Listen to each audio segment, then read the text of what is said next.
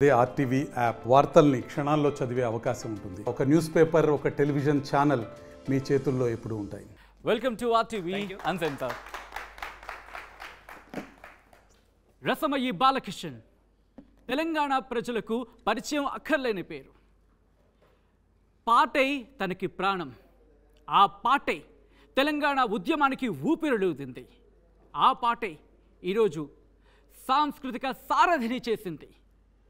అటువంటి పాటను నమ్ముకున్న ఆయన పదేళ్ళ తన ఎమ్మెల్యే ప్రస్థానానికి పాజ్ పడిందా ఫుల్ స్టాప్ పడిందా? కామానా లేకపోతే ఫుల్ స్టాపా అసలు ఏమైంది? ఎందుకు ఓడిపోయారు? ఎవరు ఓడించారు? ఇవన్నీ ఈరోజు ఆర్టీవీ అన్సార్ సార్లో తెలుసుకుందాం. లెట్ మీ ఇన్వైట్ మానకొండూరు మాజీ MLA Rasamayi Balakishan to RTV answer sir welcome అండి. థ్యాంక్ యూ బాలకిషన్ గారు రసమయ్య బాలకిషన్ పదేళ్ళ పాటు అంటే రెండు సార్లు రెండు టర్మ్లు మీరు ఎమ్మెల్యేగా గెలిచారు. కానీ ఎందుకు ఈసారి? ఎవరు ఓడించారు? ఎందుకు ఓడించారు?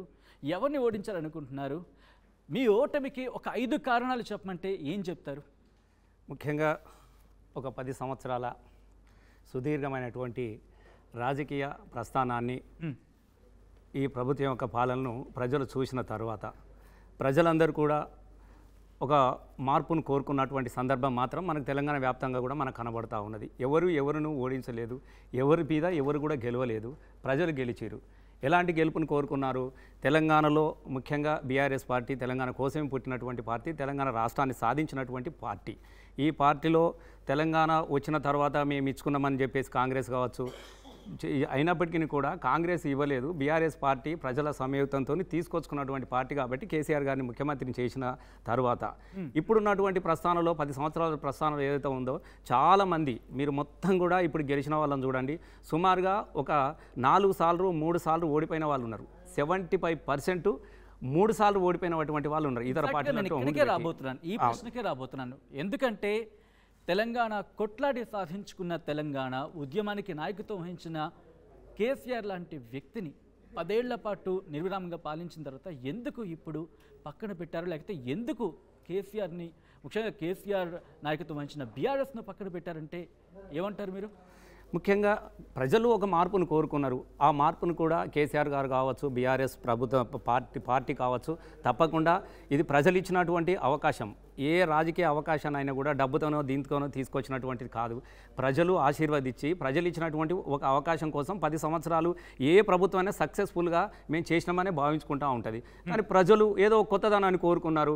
మొదటి నుంచి ముఖ్యంగా బీఆర్ఎస్ పార్టీ ఒక పద్నాలుగు సంవత్సరాలు తెలంగాణ ఉద్యమ ప్రస్థానంలో రాజకీయ ప్రస్థానానికి నడిపినటువంటి పార్టీ.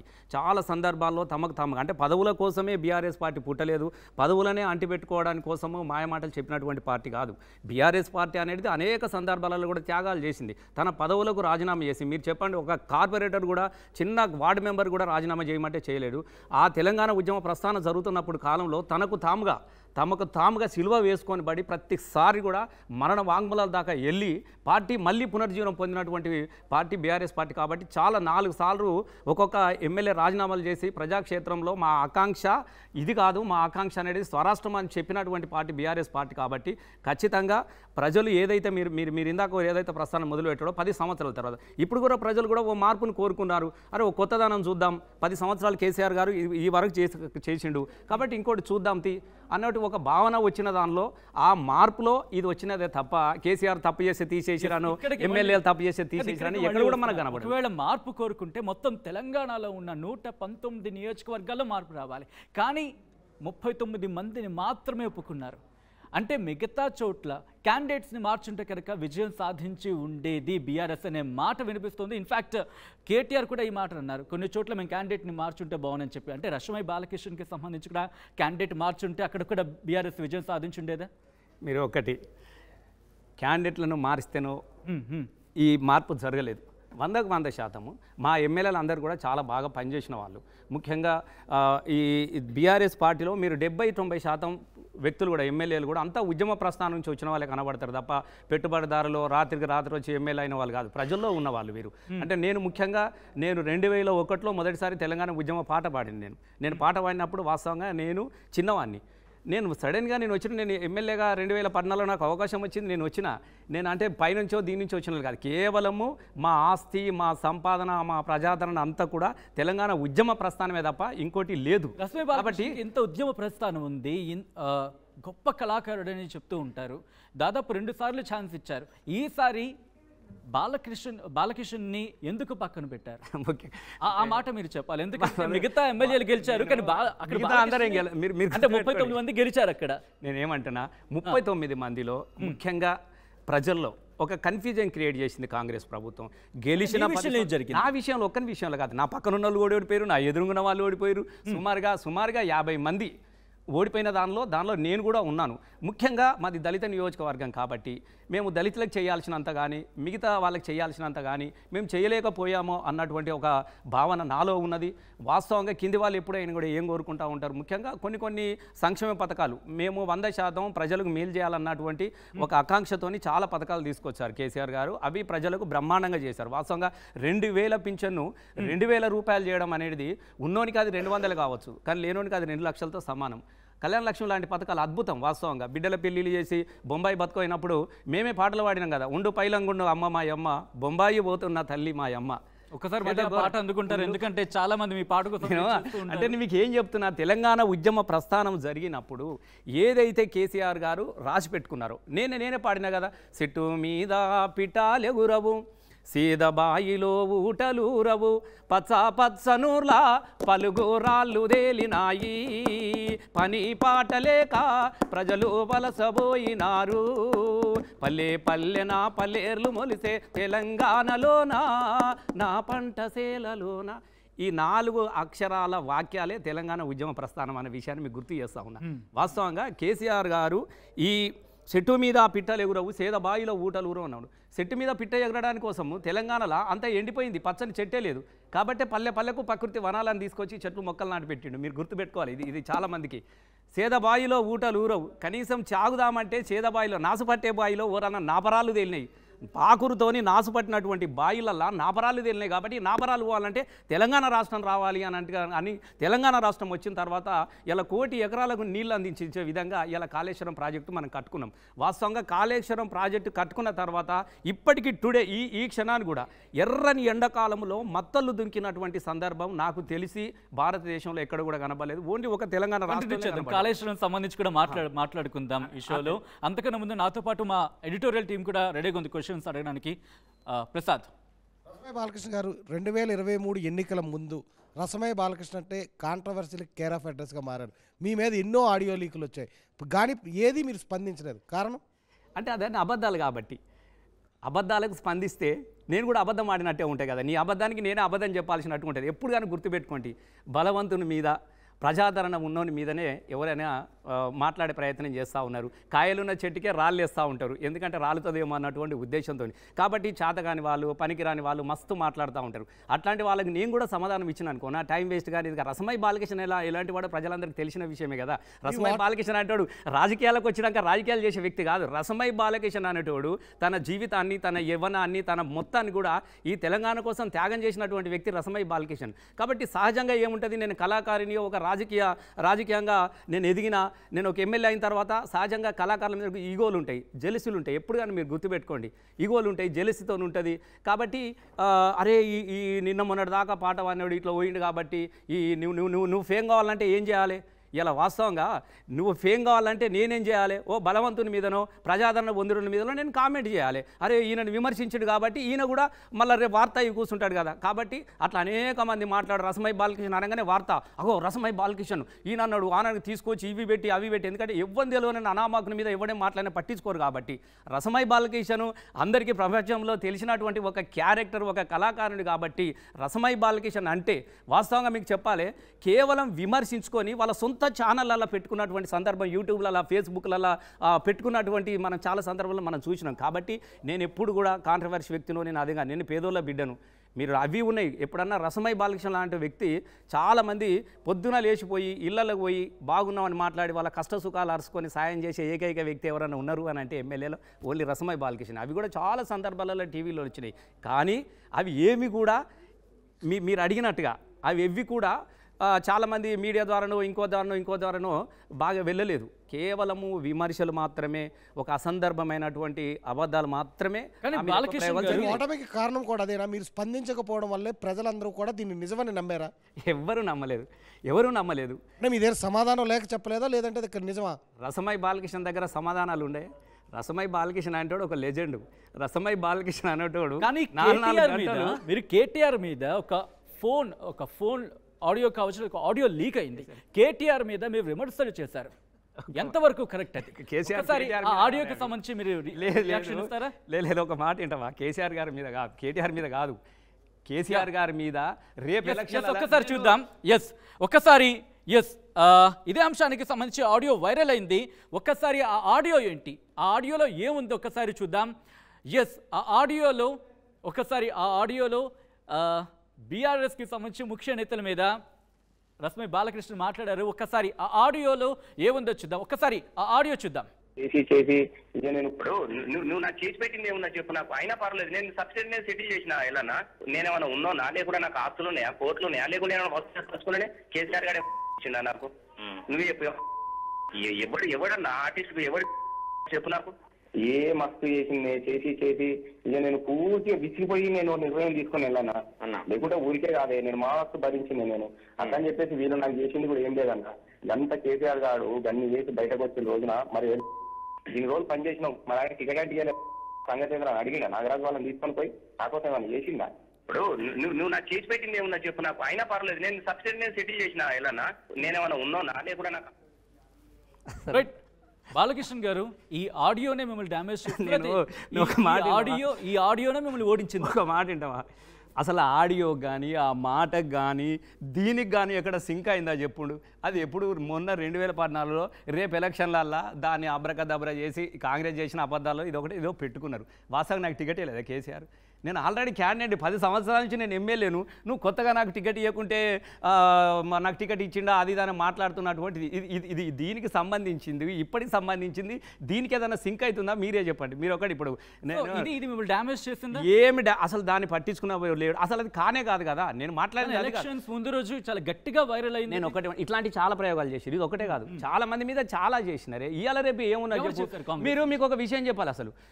అసలు మనం నిన్న మొన్న ఫేస్బుక్లలో చూస్తున్నాం శోభన్ బాబు మళ్ళీ కొమ్మ కొమ్మక్క సన్నయ్య నడుచుకుంటూ వస్తున్నట్టుగా అదే పాటను సేమ్ ఫిగర్కు మళ్ళీ నాగేశ్వరరావుని పెట్టి మళ్ళీ ఈయనది పట్టుకుంటున్నట్టుగా ఎన్టీఆర్ పట్టుకున్నట్టుగా అదోటి అదోటి ఒక. మాట వింటరా? ఇది ఒక వందకు వంద శాతం చెప్తా ఉన్నా. రసమై బాలకిషన్ అనేటోడు పూర్తిగా కేసీఆర్ యొక్క పాటల బడి నుంచి వచ్చినటువంటి ఒక కళాకారుడు. మీరు గుర్తుపెట్టుకోండి కేసీఆర్ గారికి నేను కేసీఆర్ గారికి నేను పాట పాడినప్పుడు నేను సెవెంత్ క్లాస్ స్టూడెంట్ నేను. హాస్టల్లో సెవెంత్ క్లాస్ స్టూడెంట్ నా జీవితము నా యవ్వనము నా ప్రస్థానము నా చదువు మొత్తం కూడా కేసీఆర్ గారు వెంబడే నడిచి వచ్చింది. ఎక్కడికి? మొత్తం రెండు వేల పద్నాలుగు వరకు తెలంగాణ వచ్చి నిన్నటి వరకు కూడా ఈ క్షణానికి వరకు కూడా నేను కేసీఆర్ గారి వెంబడే ఉన్నటువంటి వ్యక్తిని. కేవలము కాంగ్రెస్ చేసినటువంటి అనేక అబద్ధాలలో అనేకమైన దానిలో ఇది కూడా ఒక భాగం. నేను కూడా మస్తు నిందాల నుంచి అదే అడిగే ప్రయత్నం చేస్తున్నాను మీ సమాధానం కోసం. ఎవరు ఎవరు మిమ్మల్ని మిమ్మల్ని టార్గెట్ చేస్తాం అసలు కాంగ్రెస్లో ఎవరికి ఉంది అరే అందరికీ ఉండదు. ఎందుకు ఉండదు నీ పార్టీకే ఉండదు బాలకృష్ణ భయపడుతున్నారా? ఒక్కరి నేను ఒక భయం ఏంది? నేను మరి ఎవరు మిమ్మల్ని target అసలు రసమై బాలకృష్ణ అసలు భయము అనే పదము రసమై బాలకృష్ణ డిక్షనరీలో ఉండదు. గుర్తుపెట్టుకోండి మీకు ఎందుకు చెప్తున్నాను తెలుసా? రెండు వేల ఒకట్లో నేను తెలంగాణ ధూమ్ధాం పెట్టుకున్న రోజున చీమ చిటుక్కుమంటే ఒక చంద్రబాబు నాయుడు ఎన్కొండలేసి బెల్లి లలితను తెలంగాణ పాట పాడినందుకు బెల్లి లలితను గన్ని ముక్కలుగా పదిహేడు ముక్కలుగా నరికి చంపినటువంటి ప్రభుత్వం ఐలయ్యను సంపదను అనేక మంది ఎన్కౌంటర్లు జరుగుతున్నటువంటి కాలంలో ఎట్లా బతుకుడు ఎలా బతుకుడు ఎట్లా బతుకుడు ఎలా బతుకుడు తెలంగాణ పల్లెలోన? మీసం మొలిసిన కొడుకులా చూసి ఆశాలెన్నో అని నెత్తూరు వారం తినడో నా తెలంగాణలోన అని చెప్పేసి నేలకోరిగా తినడో నా తెలంగాణ లేసి పాట పాడి నేను ఆ రోజులో ఉన్నటువంటి తెలుగుదేశం ప్రభుత్వానికి ఎదిరిగినటువంటి గొంతు రసమై బాలకిషన్ అంటే నిజంగా ఆ రోజు నన్ను చంపాలనుకుంటే ఏమో రాత్రిపూట పది గంటల దాకా ప్రోగ్రాం పాడుకొని అట్లా మస్తు సార్లు పన్నెండు రెండు గంటల రాత్రి వర్షము వస్తూ ఉంటే ఎవడైనా చంపాలంటే ఏం చేస్తావు నువ్వు? ఏదైనా ఓ లారీ వచ్చి గుర్తుదేన వాహనం డీ మృతి వాడిని అడిగేటోడు ఉన్నాడా? గట్టిగా మాట్లాడినామనుకో ఎంక్వైరీ చేస్తున్నామని చెప్తారు. ఎన్కౌంటర్ చేసి అడిగే పరిస్థితుల రోజున కూడా రసమై బాలకిషన్ ఎదురు తిరిగి పాట పాడినటువంటి ఒక వ్యక్తి గీలకు భయపడి రసమై బాలకిషన్ ఉంటాడా? అక్కడే నేను అడుగుతున్నా. అటువంటి బాలకృష్ణ ఈ రోజు ఎందుకు సమాధానం చెప్పలేదు? ఇప్పుడు కూడా చెప్తా ఉన్నా ఎవరు టార్గెట్ చేస్తున్నారంటే నేను మీకు- ఒక విషయం చెప్పాను. నన్ను ఒక్కనే టార్గెట్ కాదు. కాంగ్రెస్ అనేది టోటల్గా ఒక్క రోజుతో రెండు రోజులతో కాదు. పది గెలిచినప్పటి నుంచి కూడా కాంగ్రెస్ అదే పనిగా అదే ప్రయత్నాలు అందరి మీద చేసింది. ఈ ప్రయోగాలు నా మీద చేసింది ఇంకొకల మీద చేసింది ఇంకొకల మీద చేసింది కేటీఆర్ గారి మీద చేసింది కేసీఆర్ గారి మీద చేసింది ఎవరి మీద చేయలేదు చెప్పండి కాంగ్రెస్? వాళ్ళ వాళ్ళ వాళ్ళ ప్రచారం అంతా ఏంది? క్యారెక్టర్ను క్యారెక్టర్ను ప్రజల్లోకి పలసబడగొట్టాలి క్యారెక్టర్ను వాళ్ళకు వాళ్ళ క్యారెక్టర్ ద్వారా మాత్రమే దెబ్బగొట్టాలి ఎందుకంటే అభివృద్ధి గురించి మాట్లాడే పరిస్థితిలో కాంగ్రెస్ లేదు. ఎందుకంటే అత్యంత వాళ్ళు కూడా అంటున్నారు. అభివృద్ధి. అడిగింది అన్నది నేను ఒకటి మీకు నాకు కూడా. మీరు ఒక ప్రశ్న అడిగారు ఎందుకని? భయం. వాస్తవంగా కాంగ్రెస్ అభివృద్ధి గురించి మాట్లాడినటువంటి పరిస్థితి లేదు. ఎందుకంటే తెలంగాణలో అద్భుతంగా అభివృద్ధి జరిగింది. ఆ అభివృద్ధి ఎంత గొప్పగా ఉందో ప్రజలు కూడా తెలుసు. కాబట్టి వాళ్ళు ఏమనుకున్నారు? అభివృద్ధితోని కేసీఆర్ని కొట్టడం అనేది సాధ్యం కాదు కాబట్టి కేసీఆర్లో ఉన్నటువంటి ఎమ్మెల్యేల మీద కేసీఆర్ ప్రభుత్వం మీద అదే పనిగా అదే పనిగా అబద్ధాల ఎదురుదాడి చేయడం కానీ క్యారెక్టర్ మీద దెబ్బ కొట్టడం కానీ ప్రయత్నంగా పెట్టుకునేది మాత్రం కాబట్టి అందరు ఎమ్మెల్యేల మీద ఇట్లాంటి మా కిషోర్ కావచ్చు సుమన్ మీద కావచ్చు ఇంకోల మీద కావచ్చు ఇంకోల మీద కాదు ఎవ్రీడే ప్రొద్దున లేస్తే ఇదే సుప్రభాతాలు అయిపోయినాయి ఉయ్యాల పాటలు అయిపోయినాయి గ్రామాలలో కాబట్టి అందులో భాగంగా నా మీద చేసిన ఆరోపణనే అది ఇంకా సేమ్ ఇంకోల మీద ఇంకోలు మాట్లాడిరని చెప్పేసి వాళ్ళ మీద కూడా పెట్టారు వాళ్ళ మీద కూడా మాట్లాడించారు కానీ ప్రజలు ఎవరు పట్టించుకోలేదు దాని మీద. మీరు ఏమనుకుంటారంటే వందకు వంద శాతం చెప్తున్నా ప్రజలే కేసీఆర్ మన రసమ ఇట్లా మాట్లాడినా అని ప్రజలు దూరం అయ్యారనో అట్లా మాట్లాడి దూరం అయ్యారనో ఎవరు కూడా దానిలో కూడా ఏమీ లేదు మాట్లాడిన దానిలో. దానిలో కూడా ఏమీ లేదు. వాడు ఇంకొన్ని దాన్ని యాడ్ చేసుకున్నారు. నేనేమన్నా నా ఆసానంతో బాధతో వ్యక్తపరచడమే ఉన్నా తప్ప నువ్వేంది నువ్వేంది అనేది లేదు కదా. మీకు అది కూడా చెప్తా ఉన్నా. కాబట్టి ఇట్లాంటి ప్రయత్నాలు చాలా జరిగినాయి. ప్రజలు వందకు వంద శాతం చెప్తున్నా. నేను ఈ రోజు చెప్తా ఉన్నా ఏది లేదు. ప్రేమగల ప్రజలు తెలంగాణ ప్రజలు. ఎవడన్నా కన్నీళ్ళు పెడితే తవ్వంట పోయేటోడు బాగున్నావా బిడ్డ అంటే బాగలేనంటే మీద వాడి ఏడ్చిపోయేటోళ్ళు. కన్నీళ్ళ కరిగిపోయేటోళ్ళు. అన్నిలో కరిగిపోయేటోళ్ళు కాబట్టి చాలా మంది కాంగ్రెస్ వాళ్ళు మూడు మూడు సార్లు నాలుగు సార్లు ఓడిపోయిన వాళ్ళు ఉన్నారు కాబట్టి ఓసారి చూద్దాం తీ బిడ్డ. వాడు మూడు సార్లు ఓడిపోయినారు. ఒకసారి చూద్దాం తీ అన్నటువంటి ఒకే ఒక సానుభూతితోని వచ్చినటువంటి ప్రభుత్వం కాంగ్రెసే తప్ప. మీరు సానుభూతి అంటున్నారు. ప్రజలు ఎవరో ఒక బీఆర్ఎస్ పార్టీ ఇది ఏం చేయలేదు అందుకే వీళ్ళు ఓడిపోయారు అనేది శుద్ధ అబద్ధం. మీరు సానుభూతి అంటున్నారు. కాంగ్రెస్ ఏమంటుంది? మీరు అభివృద్ధి చేయలేదు. ఇది ఇంకా కాదు. మీరు బీఆర్ఎస్ అభివృద్ధి చేయలేదు. అందుకే ప్రజలు మాకు పట్టం కట్టారు. బీఆర్ఎస్ని భూస్థాపితం చేస్తామని చెప్పి కాంగ్రెస్ నాయకులే అంటున్నారు. ఏంటి బీఆర్ఎస్ భూస్థాపితం అయిపోతుందా? నేను మీకు ఒక మాట చెప్పాలి. కాంగ్రెస్ ఇది ఒక్కసారి కాదు. కాంగ్రెస్ తెలంగాణ ఉద్యమం జరుగుతూ ఉన్నప్పుడు కూడా ఉద్యమాన్ని కూడా భూస్థాపితం చేస్ చేస్తా అని చెప్పేసి రాజశేఖర రెడ్డి కూడా మాట్లాడిండ్రు. రాజశేఖర రెడ్డి కూడా మొత్తం ఉద్యమం ఎక్కడదా? భూస్థాపితం చేసేస్తా అని చెప్పిండు. చంద్రబాబును కూడా భూస్థాపితం చేస్తా అన్నాడు ఎవరైతే బీఆర్ఎస్ పార్టీని ఎవరైతే భూస్థాపితం చేస్తానో వాళ్ళే భూమిలోకి వెళ్ళిపోయారు. అట్లా చాలామంది మాట్లాడారు చాలామంది కూడా వెళ్ళిపోయారు. బీఆర్ఎస్ పార్టీ అనేది ప్రజల ఆశయాల నుంచి నటు- పుట్టినటువంటి పార్టీ. కాబట్టి ఈ ఈ మేము భూస్థాపితం చేస్తాం మేము ఇది చేస్తాం మేము అది చేస్తాం అనేది అనేది మాత్రం వాళ్ళ పగటి కలలు వాళ్ళ ప్రగల్భాలు. నేను వంద వంద శాతం చెప్తా ఉన్నా కేవలం సినిమాలో ఇప్పుడు మన టీవీ నడుస్తూ ఉన్నాడు సీరియల్లో వచ్చే ఒక చిన్న అడ్వర్టైజ్మెంట్ లాంటిది కాంగ్రెస్ ప్రభుత్వం. మీరు గుర్తుపెట్టుకోండి. వంద అడ్వ- అడ్వర్టైజ్మెంట్ ఎంతసేపు నడుపుతాడు? చూడండి. కానీ మంచి పాయింట్కి వచ్చారు. అంటే కాంగ్రెస్ ప్రభుత్వం ఎన్నాళ్ళు ఉండబోతోంది? ఎన్నాళ్ళు ఉండబోతుంది మీరు అన్నారు పది. పదిహేను సెకండ్లకి శాతం. అక్కడ అన్నప్పుడు అవును. మరి ఇక్కడ కాంగ్రెస్ ప్రభుత్వం ఎన్నాళ్ళు ఉండబోతుందని చెప్పి మీరు అంచనా వేస్తున్నారు? ఇప్పుడు ఒక పార్టీ రేవంత్ రెడ్డి ఎన్ని రోజులు ఉన్నారు అంటే నేను ఎన్ని రోజులు ఎన్ని రోజులు ఉండబోతున్నా అంటే నేను చెప్తాను. ఎన్ని రోజులు ఉండబోతుండా అనేది. కాంగ్రెస్ ఎన్ని రోజులు ఉండబోతుందా అనేది రేపు ప్రజలు డిసైడ్ చేస్తారు కదా. వాళ్ళే డిసైడ్ చేసుకుంటారు. ఎవరు ఎవరు డిసైడ్ చేసుకుంటారు? అవసరం లేదు. కాంగ్రెస్ పార్టీ వాళ్ళే డిసైడ్ చేసుకుంటారు. మన ప్రభుత్వం ఎన్ని రోజులు ఉంటుంది? ఎన్ని రోజులలో దీన్ని ఏం చేసుకోవాలనేది వాళ్ళే డిసైడ్ చేస్తారు. అంతిమంగా ప్రజలు కూడా డిసైడ్ చేస్తారు. కానీ మీరు అక్కడ యాడ్స్ కంపేర్ చేస్తున్నప్పుడు Exactly.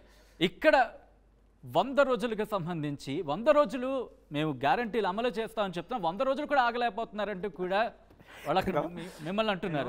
కాంగ్రెస్కి సంబంధించి కోమటిరెడ్డి వెంకటరెడ్డి కావచ్చు రేవంత్ రెడ్డి కావచ్చు లేకపోతే నాయకులు ఎవరైనా సరే వంద రోజులు కూడా ఆగలేదా మీరు? ఒక్క శాతం వంద రోజులు కాదు. వాళ్ళు నిజంగానే చెప్తే సంవత్సరమైనా ఆగేవాళ్ళు. వంద రోజులు అనే వాళ్ళు వాళ్ళు ఎప్పుడు చెప్పాలి ఇదేమైనా ఉపాధి హామీ పథకమా? వంద రోజులు హామీ పథకమా అంటున్నాను నేను. వీళ్ళు ఎప్పుడు చెప్పాలి మేము ఆరు గ్యారంటీలు సి ముఖ్యమంత్రి గారు కాంగ్రెస్ పాలన ఏం చెప్పింది వాళ్ళ ఆరు గ్యారంటీలో?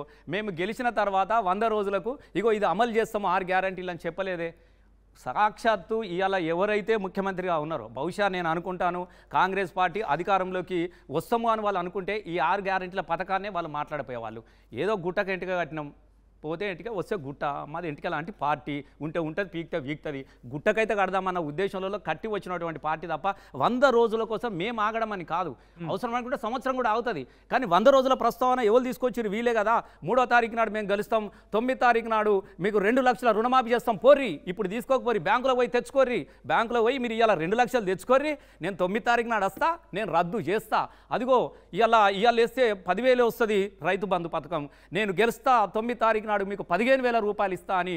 ఇవాళ గ్యాస్ అట్లే పెట్టుకోరి ఖాళీ సిలిండర్ కూడా తీసుకొచ్చుకోకరి నేను వస్తా తొమ్మిది తారీఖు నాడు మీకు ఐదు వందలకే సిలిండర్లు ఇస్తా. పింఛన్లు తీసుకోకండి ముసలు నేను వస్తా తొమ్మిది తారీఖు రోజున నాలుగు వేల రూపాయలు ఇస్తా అని చెప్పేసి వేలం. పాటలాగా పాడినట్టు ఉయ్యాల పాట పాడినట్టు ఈ తొమ్మిదవ తారీఖు రోజున ఇస్తామని చెప్పింది వాళ్ళు కదా. మీరు మీరు అవసరం అనుకుంటే రేవంత్ రెడ్డి గారి క్లిప్పులు చూడండి వాళ్ళ పార్టీ క్లిప్పులు చూడండి. మీరే చెప్పండి వంద రోజులని ఎవరు అడిగారు? వంద రోజులని మేము అడగలేదే. మేము ఆగాల్సింది కాదు ప్రజలే కదా. వీళ్ళే చెప్పారు కదా తొమ్మిది తారీఖు ఇస్తాన్న వ్యక్తి చేతగాక ఎగ్గొట్టడానికి రేపు వంద రోజులు అన్నారు. వంద రోజులలో పిలుస్తారా రేపు పొద్దుగాల మళ్ళీ ఎన్నికల కూడా వస్తుంది. రేపు ఇదే మీకు ఇదే ఆర్టీవీ సాక్షిగా నేను చెప్తా ఉన్నా మేము ఇద్దామని మేము అనుకున్నాం కానీ ఇంతలో ఎన్నికల కోడ్ వచ్చింది కాబట్టి ఎన్నికల కోడ్ అయ్యేదాకా మేము ఆగాలి. ఎప్పటిదాకా? మళ్ళీ ఎన్నికల కోడ్ అయిపోయి జూన్ దాకా మళ్ళీ ఆగాలి. మళ్ళీ జూన్ తర్వాత ఏమొస్తుంది? అయ్యో ఇదంతా మొత్తం వర్షాలు వస్తున్నాయి అన్ని కొట్టుకుపోయినాయి. కాబట్టి ఈ వర్షాలు తగ్గిన తర్వాత మళ్ళీ మేము చలికాలం వచ్చిన తర్వాత ఇస్తాం చలికాలం వచ్చిన తర్వాత ప్రజలంతా చలితోని వణికిపోతా ఉన్నారు కాబట్టి ఎండాకాలంలో ఇస్తాం. ఎండకి ఎండిపోతా ఉన్నారు. ప్రజలంతా నీరసించిపోతా ఉన్నారు కాబట్టి ఎండాకాలం వానకాలం ఈ కాలం ఆ కాలం చెప్పేసేసి దీన్ని పొద్దు గడపడమే తప్ప వాళ్ళు ఇచ్చిన ఏ ఒక్క హామీ కూడా అమలు కాదు. నేను వంద శాతం చెప్తా ఉన్నా ఆర్టీవీ సాక్షిగా చెప్తా ఉన్నా రేపు పార్లమెంట్కి ఎన్నికలు వస్తున్నాయి కాబట్టి ఒక పథకాన్ని మేము రెండు రెండు గ్యారంటీలు అమలు చేసినాం అమలు చేస్తామని చెప్తా ఉన్నారు. వంద శాతం చెప్తున్నా. మీరు ఇంతమంది మేధావులు ఉన్నారు మీరు ఇంతమంది జర్నలిస్టులు ఉన్నారు మీకు తెలియదా? మూడు మహాలక్ష్మి మూడు వంద రెండు అమలు చేసినామని చెప్పారు ఒక్క బస్సు ఇచ్చేసి రెండు గ్యార గ్యారంటీ పథకాలు అమలే అన్నాడు. ఆ మహాలక్ష్మి పథకంలో ఇంకా రెండు ఉన్నాయి. ఐదు వందల సిలిండర్లు ఉన్నది ఇరవై ఐదు వందల యొక్క పెన్షన్ ఉన్నది. మరి ఈ ఈ గ్యారంటీ పథకం ఇది రెండింటి సంగతి ఏంది? బస్సులు కూడా మీరు నడవాయి మీరు అంత వంద శాతం మీరు చూడ ఆరు నెలల లోపల ఇదే కార్మికులు ఇదే కండక్టర్లు డ్రైవర్లు ఆర్టీసీ కార్మికులకు రోడ్డుకి మీద మీద పడి అయ్యా మా సర్వ హాస్టలన్నీ అమ్ముకొని నీ ఫ్రీ బస్ కోసం పెడుతున్నామయ్యా మా ఆర్టీసీ సంగతి అని చెప్పేసి అడగకుంటే మీరు అడగండి. ఇదే ఆర్టీవీ సాక్షిగా నేను చెప్తా ఉన్నా కొద్ది రోజుల తర్వాత ఈ ఫ్రీ బస్సు కోసం అది గవర్నమెంట్ కాదు కదా అదొక కార్పొరేషన్. అదేం గవర్నమెంట్ నడపట్లేదు. కంటిన్యూ చేద్దాం. ఒక్కసారి మంత్రి కోమటిరెడ్డి వెంకటరెడ్డి బీఆర్ఎస్కు సవాల్ చేస్తున్నారు సార్ సవాల్ ఏంటో చూద్దాం. మూసిగా పాతి పెట్టి మురికి కుంపలు వేసి పడితే ఆయన కాలి గోడి సరిపోడంట ముఖ్యమంత్రి అనే పదవికి ముఖ్యమంత్రి అనే వారికి ఎవరు ఆ కుర్చీలో ఉన్న గౌరవం ఇవ్వాలి కేటీఆర్కి ఎంత అహంకారం అంటే ముఖ్యమంత్రి పట్టుకొని ఖాళీ గోడి అంటాడా? నేను ఒకటే చెప్తున్నా కేటీఆర్ మిస్టర్ బచ్చాగాలివి రేవంత్ రెడ్డి ఏది కోడి కూడా పనికిరావు మీరు అయ్యే ఎమ్మెల్యే అయితే ఆ పేరు పెట్టి అమెరికా నుంచి వచ్చి ఎనభై ఓట్లతో ఎమ్మెల్యే గెలిచినాం. మా నాయన ఎమ్మెల్యే కాదు రేవంత్ రెడ్డి ఆయన ఎమ్మెల్యే కాదు వ్యవసాయ కుటుంబం కష్టపడి ప్రజల కోసం పోరాటం చేస్తే ఎమ్మెల్యేలు అయినాం. ఇక్కడ కూడా సందీప్ రెడ్డి కూడా పెద్ద నాయకుడు మాధవ్ రెడ్డి పేరు అయితే జడ్పీటీసీ అయింది తప్ప ఇలా సర్పంచ్ కూడా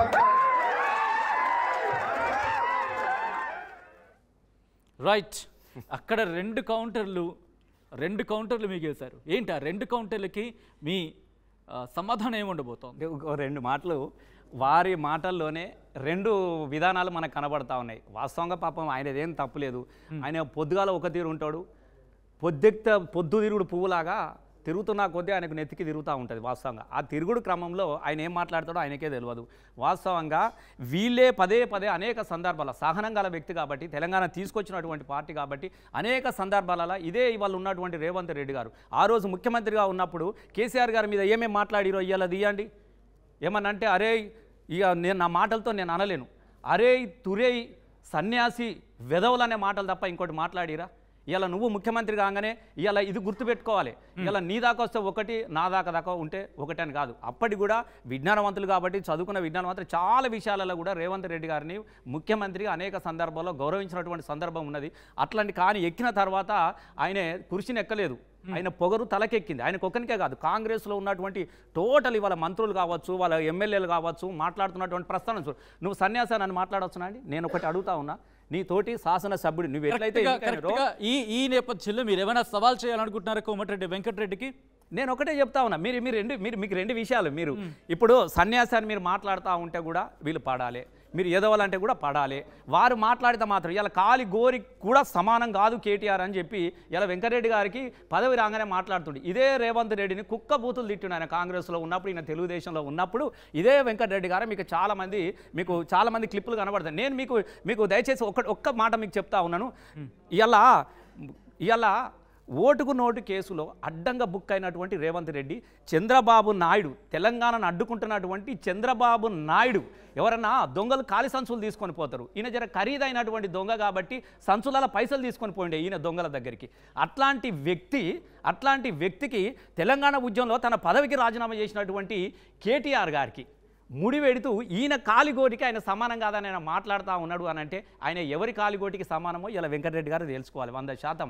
తెలంగాణ ఉద్యమంలో శవాలు మోసినటువంటి వాళ్ళు వాళ్ళందరూ. శవాలు మోసినటువంటి పార్టీ వాళ్ళ అమరత్వం సాక్షిగా తెలంగాణ రాష్ట్రాన్ని సాధించినటువంటి ఒక పార్టీ బీఆర్ఎస్ ఎమ్మెల్యేలను పట్టుకొని నువ్వు వాళ్ళ కాలగోరికి సరి కాదు వీళ్ళ కాలగోరికి సరి అసలు వీళ్ళు ఎవరి కాలగోటికి సమానం అండి? అసలు తెలంగాణలో మాట్లాడే అర్హత కానీ హక్కులు కానీ కాంగ్రెస్లో లేవు. వందకు వంద శాతం కేటీఆర్ గారు మాట్లాడిన దానిలో నేను ఏకీభవిస్తా ఉన్నాను. నేను కూడా అదే మాటకనే కట్టుబడి ఉన్నాను. కాబట్టి వాళ్ళ భాష మార్చుకోవాలి. వాళ్ళ భాష మార్చుకోవాలి వాస్తవంగా. సందీప్ విషయంలో ఆయన మాట్లాడిన మాట మీరు చూసారు ఏమంటారు? వంద శాతం ఆయన మాట్లాడింది అలా తప్పే ఉన్నది. తప్పే ఉన్నది చెప్పండి. ఇలా ఆయన ఒక్కడే కాదు. ఇవాళ మా ఎమ్మెల్యేలు ఎక్కడ పోతే అక్కడ సర్పంచ్లను పట్టుకొని జడ్పీటీసీలను పట్టుకొని కుర్చీల మీద కూర్చొని ఇవ్వకుండా మేము ఎక్కడ మేము అధికారంలోకి వచ్చినాం మేము ఏది చేసినా నలుతుంది అరే అన్న తురే అన్న ఇవన్నీ పడాలంటే ఇది పడదు. వాస్తవంగా తెలంగాణ ఉద్యమం తెలంగాణ రాష్ట్ర ఆకాంక్ష ఆత్మ గౌరవం కోసం జరిగినటువంటి పార్టీ మీరు గుర్తుపెట్టుకోండి.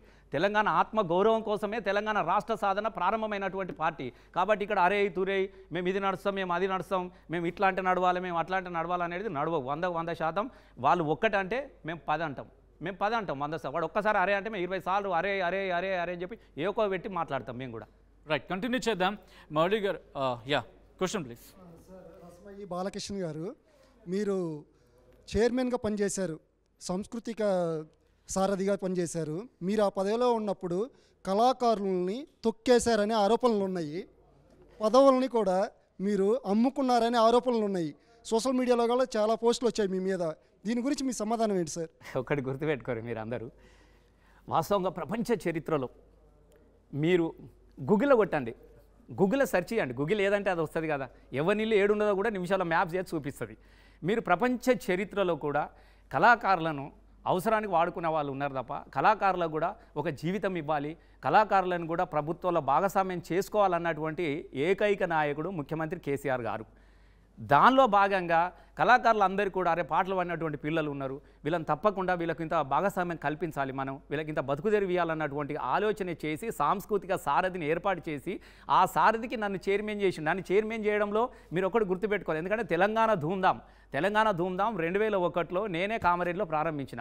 నేను ప్రారంభించిన రోజున చాలామంది చిన్న చిన్న చిన్న చిన్న పిల్లలు ఉన్నారు. వాళ్ళందరూ ఒక దగ్గర పోగు చేసుకొని తీరొక్క పువ్వుని తీసుకొచ్చి బతుకమ్మని వేర్చినట్టుగా రెండు వేల ఆరులో గద్దర్ లాంటి వాళ్ళను కోడాంజన లాంటి వాళ్ళను అందశ్రీని కానీ వీళ్ళందరినీ కూడా ఒక ప్లాట్ఫామ్కి విమలక్కని వీళ్ళని ఒక్క ప్లాట్ఫామ్కి మీరు చూడండి ఇవన్నీ కూడా ఒకరికొకరు కలబరుగు ఇవి విభిన్నమైనటువంటి సంస్థలు ఇవన్నీ. జననాట్య మండలి ఒకటి ప్రజాకాల మండలి ఒకటి అరుణోదయ ఒకటి ఇంకొకటి ఇంకొకటి ఇవన్నీ వేరువేరుగా ఉన్నయిటిని నేను నేనే వీళ్ళందరూ ఒక దగ్గర తీసుకొచ్చి మన ఆశయం ఒకటైనప్పుడు మనం పనిచేయాలన్నప్పుడు దానికి నాయకత్వం వహించి నేనే ఉండి నేనే మళ్ళీ ఎమ్మెల్యేని అయినాను కాబట్టి తమ్ముడు నీకైతే రసమై నీకు వీళ్ళందరూ తెలుసు కాబట్టి నీ చేతిలో పెరిగిన పిల్లలు కాబట్టి వీళ్ళందరూ ఎవరు? వాస్తవం కళాకారులు ఎవరు? ఏదు అని అనుకున్నప్పుడు వాళ్ళందరినీ కూడా తీసుకొచ్చినప్పుడు నేనే వాళ్ళందరి కూడా రెండు వందల ఎనభై మందికి ఉద్యోగాలు ఇచ్చినాం. కాబట్టి సురేందర్ మీ మీద మీరు అన్యాయం చేశారు చేస్తున్నారనే మాట అంటూనే ఉన్నారు.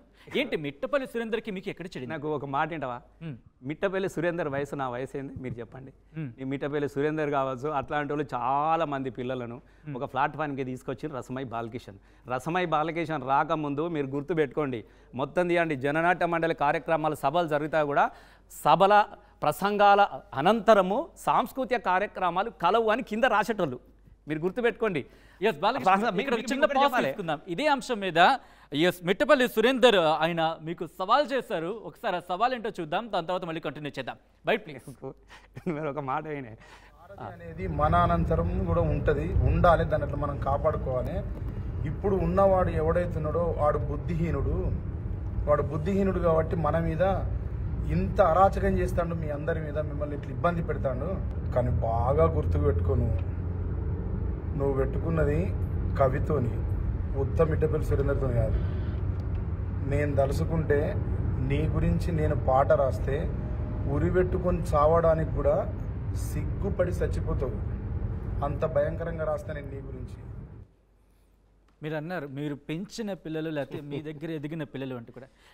అలాంటి వాళ్ళ దగ్గర నుంచి ఎందుకు ఒక మాట వింటావా? సమాధానం? నేను ఒక మాట వింటావా? తప్పకుండా. అసమర్థులకు చేతగానోడు.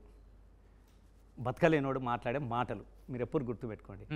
బతకలేని వాడు ఏం చేస్తాడు? బాగా బతికినోడి మీద ఆరోపణలు చేస్తాడు. ఏమన్నా ఇస్తాడు ఆమె అని చెప్పేసి. మీరు ఎప్పుడు గుర్తుపెట్టుకోండి. నేను ఇంకా నేను దీని ద్వారా మాట్లాడము ఆయన మాట్లాడిన స్థాయి కాదు. నేను అట్లాంటి వాళ్ళు కొన్ని వందల మంది పిల్లలు మన దగ్గర పనిచేసిన వాళ్ళు వాళ్ళు ఎదిగితే నేను సంతోషపడతా. రసమై బాలకిషన్ అనేటోడు రసమై బాలకిషన్ అనేటోడు సరే నేను పాట రాస్తే వీళ్ళు చత్తరా వాళ్ళు చత్తరా ఇలా మరి ఇప్పుడు ఇప్పుడు ఎందుకు ఉన్నాడు? ఇప్పుడు ఎందుకు మాట్లాడట్లేదు? ఎవరెందుకు మాట్లాడట్లేదు ఇప్పుడు? కేవలము వాళ్ళ వాళ్ళ అవసరాల మీద సరే నేను ఎమ్మెల్యేగా ఉన్నా నేను ఇదంటే నాకు ఇంత ప్రయోజనం పొందుతుందేమో ఆ ప్రయోజనం వస్తుందో ఈ ప్రయోజనం వస్తుందని మాట్లాడినటువంటి సందర్భం. బాధ్యత గల వ్యక్తి కూడా ప్రతి ఒక్కరికి కూడా మనం మాట్లాడి చెప్పలేం కదా. ఎప్పుడు కానీ మన మౌనం సమాధానం అనడానికి వీల్లేదు. సమాజంలో బాధ్యత కలిగినటువంటి వ్యక్తులం మనం. దయచేసి ఏం చేయనోడు ఇలా యూట్యూబ్లో నేను చూస్తూ ఉన్నా కదా ఏది పడితే అదే పెట్టుకుంటారు వీటిలలో ఏది పడితే అదే నువ్వు చూస్తలేవా? ఏది పడితే అది వస్తూనే ఉంటాయి. బాధ్యత గల వాళ్ళం ఏం చేస్తాం? జాగ్రత్తగా మన ప్రజెంటేషన్ ఉంటుంది. అరే మనం చెప్పలేం కదా. కాబట్టి కొన్ని కొంత కొంతమంది విషయాలు కొన్ని సమాధానాలు కూడా నేను చెప్పలేను కదా. కాబట్టి నేను వాటి గురించి పెద్దగా నేను ఆలోచించలేదు. మిట్టపల్లి సురేందర్ కూడా నేను ఉద్యోగం ఇచ్చిన సాంస్కృతిక సారథిలో. పని చేయకపోయినా జీతం ఇస్తూనే ఉంది సాంస్కృతిక సారథిలో. అట్లా అనేక మంది కూడా మనం పెట్టుకున్నాం మనం ఇచ్చినాం. వాళ్ళు మాట్లాడితే అది వాళ్ళ అజ్ఞానం. ఇక నేను కూడా వాళ్ళ గురించి సమాధానం చెప్తే వాళ్ళకి నాకు తేడా ఏముంటుంది చెప్పండి? కాబట్టి మీరు గుర్తుపెట్టుకోండి రసమై బాలకిషన్ అనే వ్యక్తి ఒక మిట్టపల్లి సురేందర్ కాదు. గద్దరన్నం కూడా కాల్పుల తర్వాత రెండు వేల ఆరులో మొట్టమొదటిసారిగా బయటకు రాలే గద్దరన్న కాల్పులు గద్దరన్నను పిలిస్తే ఎక్కడ ఎన్కౌంటర్ చేస్తారేమో అని చెప్పేసి భయపడుతున్నటువంటి రోజుల్లో గద్దరన్నం తీసుకొచ్చి మళ్ళీ వేదిక మీద నిలబెట్టించి పాట పాడించిన రసమై బాలకిషన్ అంటే మీకు చెప్తా ఉన్నా నాకు ఇక్కడ నుంచి కాదు గూడ అంజన లాంటి వాళ్ళు కావచ్చు జయరాజ్ నుంచి కావచ్చు గోరెటెంకానలో కావచ్చు విమలక్క లాంటి వాళ్ళు కావచ్చు అందరిని ఒక ప్లాట్ఫామ్కి తీసుకొచ్చి వాళ్ళందరూ కూడా నా గురించి చాలా మరి అందరు ఇట్లా మాట్లాడలే కదా. ఈ ప్రగతి భవన్ ముందు మూడు సార్లు వెయిట్ చేశాడు. కనీసం ఈ ముఖ్యమంత్రి పట్టించుకోలేదు. ఆయన మరణాంతరం మాట్లాడారు తప్ప ఆయన బతుకున్నంతసేపు ఎప్పుడు కూడా గద్దర్ గురించి మాట్లాడలేదు. ప్రగతి భవన్ ముందు మూడేసి గంటలు వేచి చూసినటువంటి పత్రికలకు ప్రజలకి కూడా ఆయన వివరించాడు. నేను కేవలం ఆయనను కలిసి సాంస్కృతిక శాఖలో చిన్న ఉద్యోగం అడుగుతాను. నేను అప్పుడు పట్టించుకోకుండా ఇప్పుడు ఒక మీరు ఏమనుకోండి గద్దరు ఒక కారణ జన్ముడే. గద్దరు ఒక లెజెండ్. నాలాంటి కళాకారులకు కీర్తి శకాన్ని మనం చూడలే. గద్దరి శకాన్ని మాత్రమే చూస్తూ ఉన్నాం. కీర్తి శకము ఎవరన్నా అంటారు? క్రీస్తు పూర్వము క్రీస్తు శకము అని చెప్పుకుంటాం మనం. ఇక్కడ కళాకారులందరికీ ఒక గద్దర్ శేఖ లాంటి ఒక లెజెండ్కు నేను పోవాలేగి సాంస్కృతిక సారథిలో ఒక డెబ్బై సంవత్సరాలకు ప్రభుత్వ ఉద్యోగం వస్తుందా? మీరు చెప్పండి. దయచేసి మీరు చెప్పండి. గది నిజంగానే సాంస్కృతిక సారథిలో నువ్వు కాదు నువ్వు చేస్తా అంటే నీకు చైర్మనే ఇస్తారు కదా ఇక్కడ.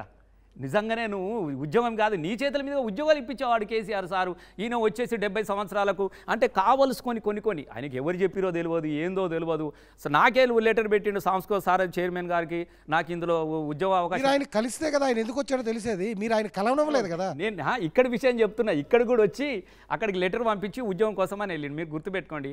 నేను ఈ రోజు కూడా చెప్తా ఉన్నా.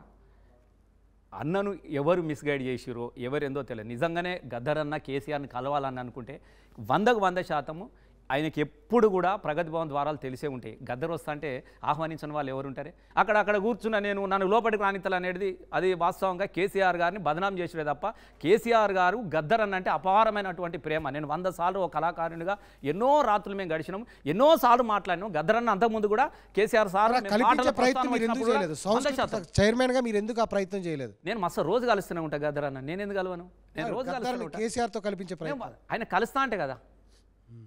ఆయన కలుస్తా అంటే కదా నిజంగానే మేము మీకు ఒక విషయం చెప్పాలి మీరు. మీకు కూడా ఫోటో పంపిస్తా మీరు చూడండి. ఈశ్వర్ అన్న కొప్పుల ఈశ్వర్ అన్న నేను ఇద్దరం కూడా గద్దరన్న దగ్గరికి మేము వెళ్ళినాం. దళిత బంధు దళిత బంధు పథకాన్ని లాంచ్ చేయిద్దామన్నా నీ చేతుల మీదే చేయిస్తామన్నా ఒక దళితులకు ప్రయోజనం జరుగుతూ ఉన్నప్పుడు వందకు వంద శాతం నీ చేతుల మీదుగా చేపిద్దామన్నా సార్ పంపించిండు అన్న అని చెప్పేసి ఆయన ఒక మంత్రి సోషల్ వెల్ఫేర్ ఆయన ఉంది. మీకు ఆ ఫోటో పంపిస్తా. ఆయన మంత్రిగా అదే నేను తీసి పంపిస్తాను మీకు. ఆయన మంత్రిగా నేను ఇద్దరం కూడా మేము గద్దరన్న ఇంటికి వెళ్ళాం. సాయంత్రం ఏడు గంటల నుంచి తొమ్మిది గంటల రాత్రి దాకా అన్నా నువ్వు రండి. సీఎం గారు పంపించిర్రు. నీ చేతుల మీదుగా నీ చేతుల మీదుగా ఒక మంచి కార్యక్రమాన్ని ప్రారంభిస్తామని అడుగుతా ఉంటే తను రాలేదు. అది రాలేపోక తర్వాత దాని తర్వాత మళ్ళీ నన్ను కేసీఆర్ సార్ నన్ను ఇంట్లోకి రానియలేదని చెప్పేసేసి అది అది అది జరిగింది. వాస్తవంగా నేను ఆ ఫోటో కూడా మీకు పంపిస్తాను నేను అబద్ధం చెప్పాల్సిన అవసరం లేదు. నేను ఒకటే చెప్తున్నా కళాకారులు అన్నా కూడా అందరి మీద గౌరవం అంటే గద్దర్ అంటే అమితంగా ఇష్టపడే వ్యక్తి కేసీఆర్ సార్. సార్ మీరు గద్దర్ గారు లెజెండ్ అని మీరే చెప్పారు. అట్లాంటి లెజెండే ప్రగతి భవన్ దగ్గర బయట గేట్ల దగ్గర కూర్చొని కొన్ని గంటలు వెయిట్ చేయాల్సి వచ్చింది. ఈ రోజు సార్ ఒక్క విషయం. ఈ రోజు సామాన్యుడు కూడా ఆ ప్రగతి భవన్లోకి లోపలికి వెళ్తున్నారు. అట్లాంటిది ఒకప్పుడు అంటే ఇంతకుముందు లెజెండ్ అంటున్న మీరే గద్దర్ గారు లెజెండ్ అక్కడ వెయిట్ చేయాల్సిన పరిస్థితి వచ్చింది. ఇప్పుడు సామాన్యులు కూడా లోపలికి వెళ్ళే పరిస్థితి ఉంది. దీనిపై మీ సమాధానం ఏంటి సార్? ఒకటి ఒకటి ఒక రెండు విషయాలు భయ్య. వాస్తవంగా గద్దర్ అన్న వచ్చినట్టు కేసీఆర్ సార్కు తెలియదు. మీరు గుర్తుపెట్టుకోండి. గద్దర్ అన్న కలవడానికి వచ్చిన విషయము కేసీఆర్ సార్కు తెలియదు. మీరు చూడండి ఒక ముఖ్యమంత్రి దగ్గరికి వెళ్ళినప్పుడు అయ్యా నేను వచ్చినా అని చెప్పేస్తే ఆయన ఉన్నాడా లేడో తెలియదు ఆయనకు ఎవరైనా కానీ ముందు అడుగుతూ ఉంటారు చాలామంది పోతూ ఉంటారు. వాస్తవంగా ఒకవేళ నిజంగానే గద్దరన్న అన్న మంచి మనసుతోని నేను ఖచ్చితంగా కేసీఆర్నే కలవడానికి కోసమే నేను వార్త కోసమో కాదు నేను కలవడానికి కోసమే వచ్చినాను అను అనుకు నిజంగా అనుకున్నట్టుంటే ఖచ్చితంగా కేసీఆర్ సారే గద్దరన్న దగ్గరికి కలిసి వచ్చి లోపలికి తీసుకుపోయేవాడు. కేవలము కొంతమంది కుట్రలకు పెద్ద ఆయనను ఒక వార్త చేయాలన్న ఉద్దేశంతోనే చేసింది తప్ప అది కాదు రెండోది రెండోది అడిగినావు. ఇప్పుడే మొదలైంది కదా. ఫస్ట్ నాడు పెట్టిండు ప్రజా దర్బారా దాని పేరు? ప్రజా దర్బారా ఆ? జ్యోతి అదేనే నేను భవనం గురించి అంటలేను రేపు పొద్దుగాల జ్యోతిరావు పూలే భవనాన్ని కాదు జ్యోతిరావు పూలే మనసులో ఉండాలి కదా. ఇప్పుడు ఎంతమంది పూలేలకు మంత్రి పదవులు ఇచ్చిండు? ఎంతమంది అంబేద్కర్. వారసులకు మంత్రి పదవులు ఇచ్చిండో కనబడతలేదా? నేను దాని గురించి చర్చ పెడతలేను. కేవలము ఒక రోజు పెట్టిండు అప్లికేషన్ తీసుకున్నాడు. మరి తెల్లారి నుంచి ఎందుకు ఎత్తేసిండు? తెల్లారి నుంచి ఎందుకు ఎత్తేసిండు? మంగళవారం శుక్రవారం పెట్టారు. నేను ఈయన ముఖ్యమంత్రి గారు ఎందుకు వదలేరు? నేను ఈయన ఉంటా అన్నాడు కదా. నేనే స్వయంగా తీసుకుంటా. రండి బాబు రండి రండి బాబు రండి. అరే మాల్ అగ్వా అగ్వా రండి రండి రండి బాబు. ఇడ ఉన్నా అని చెప్పేసి మార్కెట్ చేసిండు కదా. మార్కెట్ చేసిండు కదా. మరి ఇవాళ ఎందుకు ఎందుకు పెడతలేడు? ఎవరికో అప్పచెప్పినారు. ఇవాళ ఇవాళ ఇచ్చినటువంటి అప్లికేషన్కి ఒక్కసారి ఒక ఒక సమాధానం వచ్చిందా? ఒక దానికి ఒక ప్రయోజనం జరిగిందా? అప్లికేషన్ ఇచ్చిన ప్రజలు అసలు ప్రజలు ఇచ్చినటువంటి అప్లికేషన్కు జవాబు ఉందా మీరు చూడండి నెట్లో? అంటే జవాబు రాలేదంటున్నారా? ఆ? జవాబు రావట్లేదు ఏ అంటున్నారా జవాబు లేదు ఏది లేదు. ఏ- ఉంటే కదా రావడానికి కోసము. కేవలము వార్తల కోసము చేసిన ప్రయత్నంలో భాగంగా నాలుగు రోజులు చూడండి ఇప్పుడే కదా. మీరే అన్నారు కదా వంద రోజులు అన్నారు. వంద రోజుల తర్వాత ఇప్పుడే స్టార్ట్ అయిపోయింది. నీ ప్రజా ప్రజాపాలన తెస్తానన్నారు. అందులో భాగంగానే మీ ముఖ్యమంత్రి కేసీఆర్ మీ మాజీ తొలి ముఖ్యమంత్రి హాస్పిటల్లో ఉంటే ఒక ముఖ్యమంత్రి హోదాలో వచ్చి పలకరించి అతనికి మెరుగైన వైద్యం అందించాలని డాక్టర్లను సూచించారు. మీరు కనీసం మీ సొంత పార్టీ నేతలు హాస్పిటల్ ఉన్నా సరే వెళ్ళి పరామర్శించిన రోజులు లేవు. ఎవరిని? మీరు ఎట్లా అంటారు ఆ మాట? మీరు ఎట్లా అంటారు ఆ మాట? ఎంతమందికి వైద్య సహాయానికి ఎల్ఓసీలు ఇచ్చారో మీకు తెలుసా? ఎంతమందికి వైద్య సహాయం చేసిరో మీకు తెలుసా? నేనేమంటున్నా పలకరియలేదు పోలేదు అనేది తప్పుడు విషయం. వంద వంద వంద శాతం దానికి మంత్రులు ఉన్నారు అందరు ఉన్నారు. తనబోయాల్సిన దగ్గరికి తనబోయిండు మంత్రులు పోయాలి దగ్గరికి మంత్రులు పోయినాడు. ఇప్పుడు నా నియోజకవర్గంలో ఉన్నారే.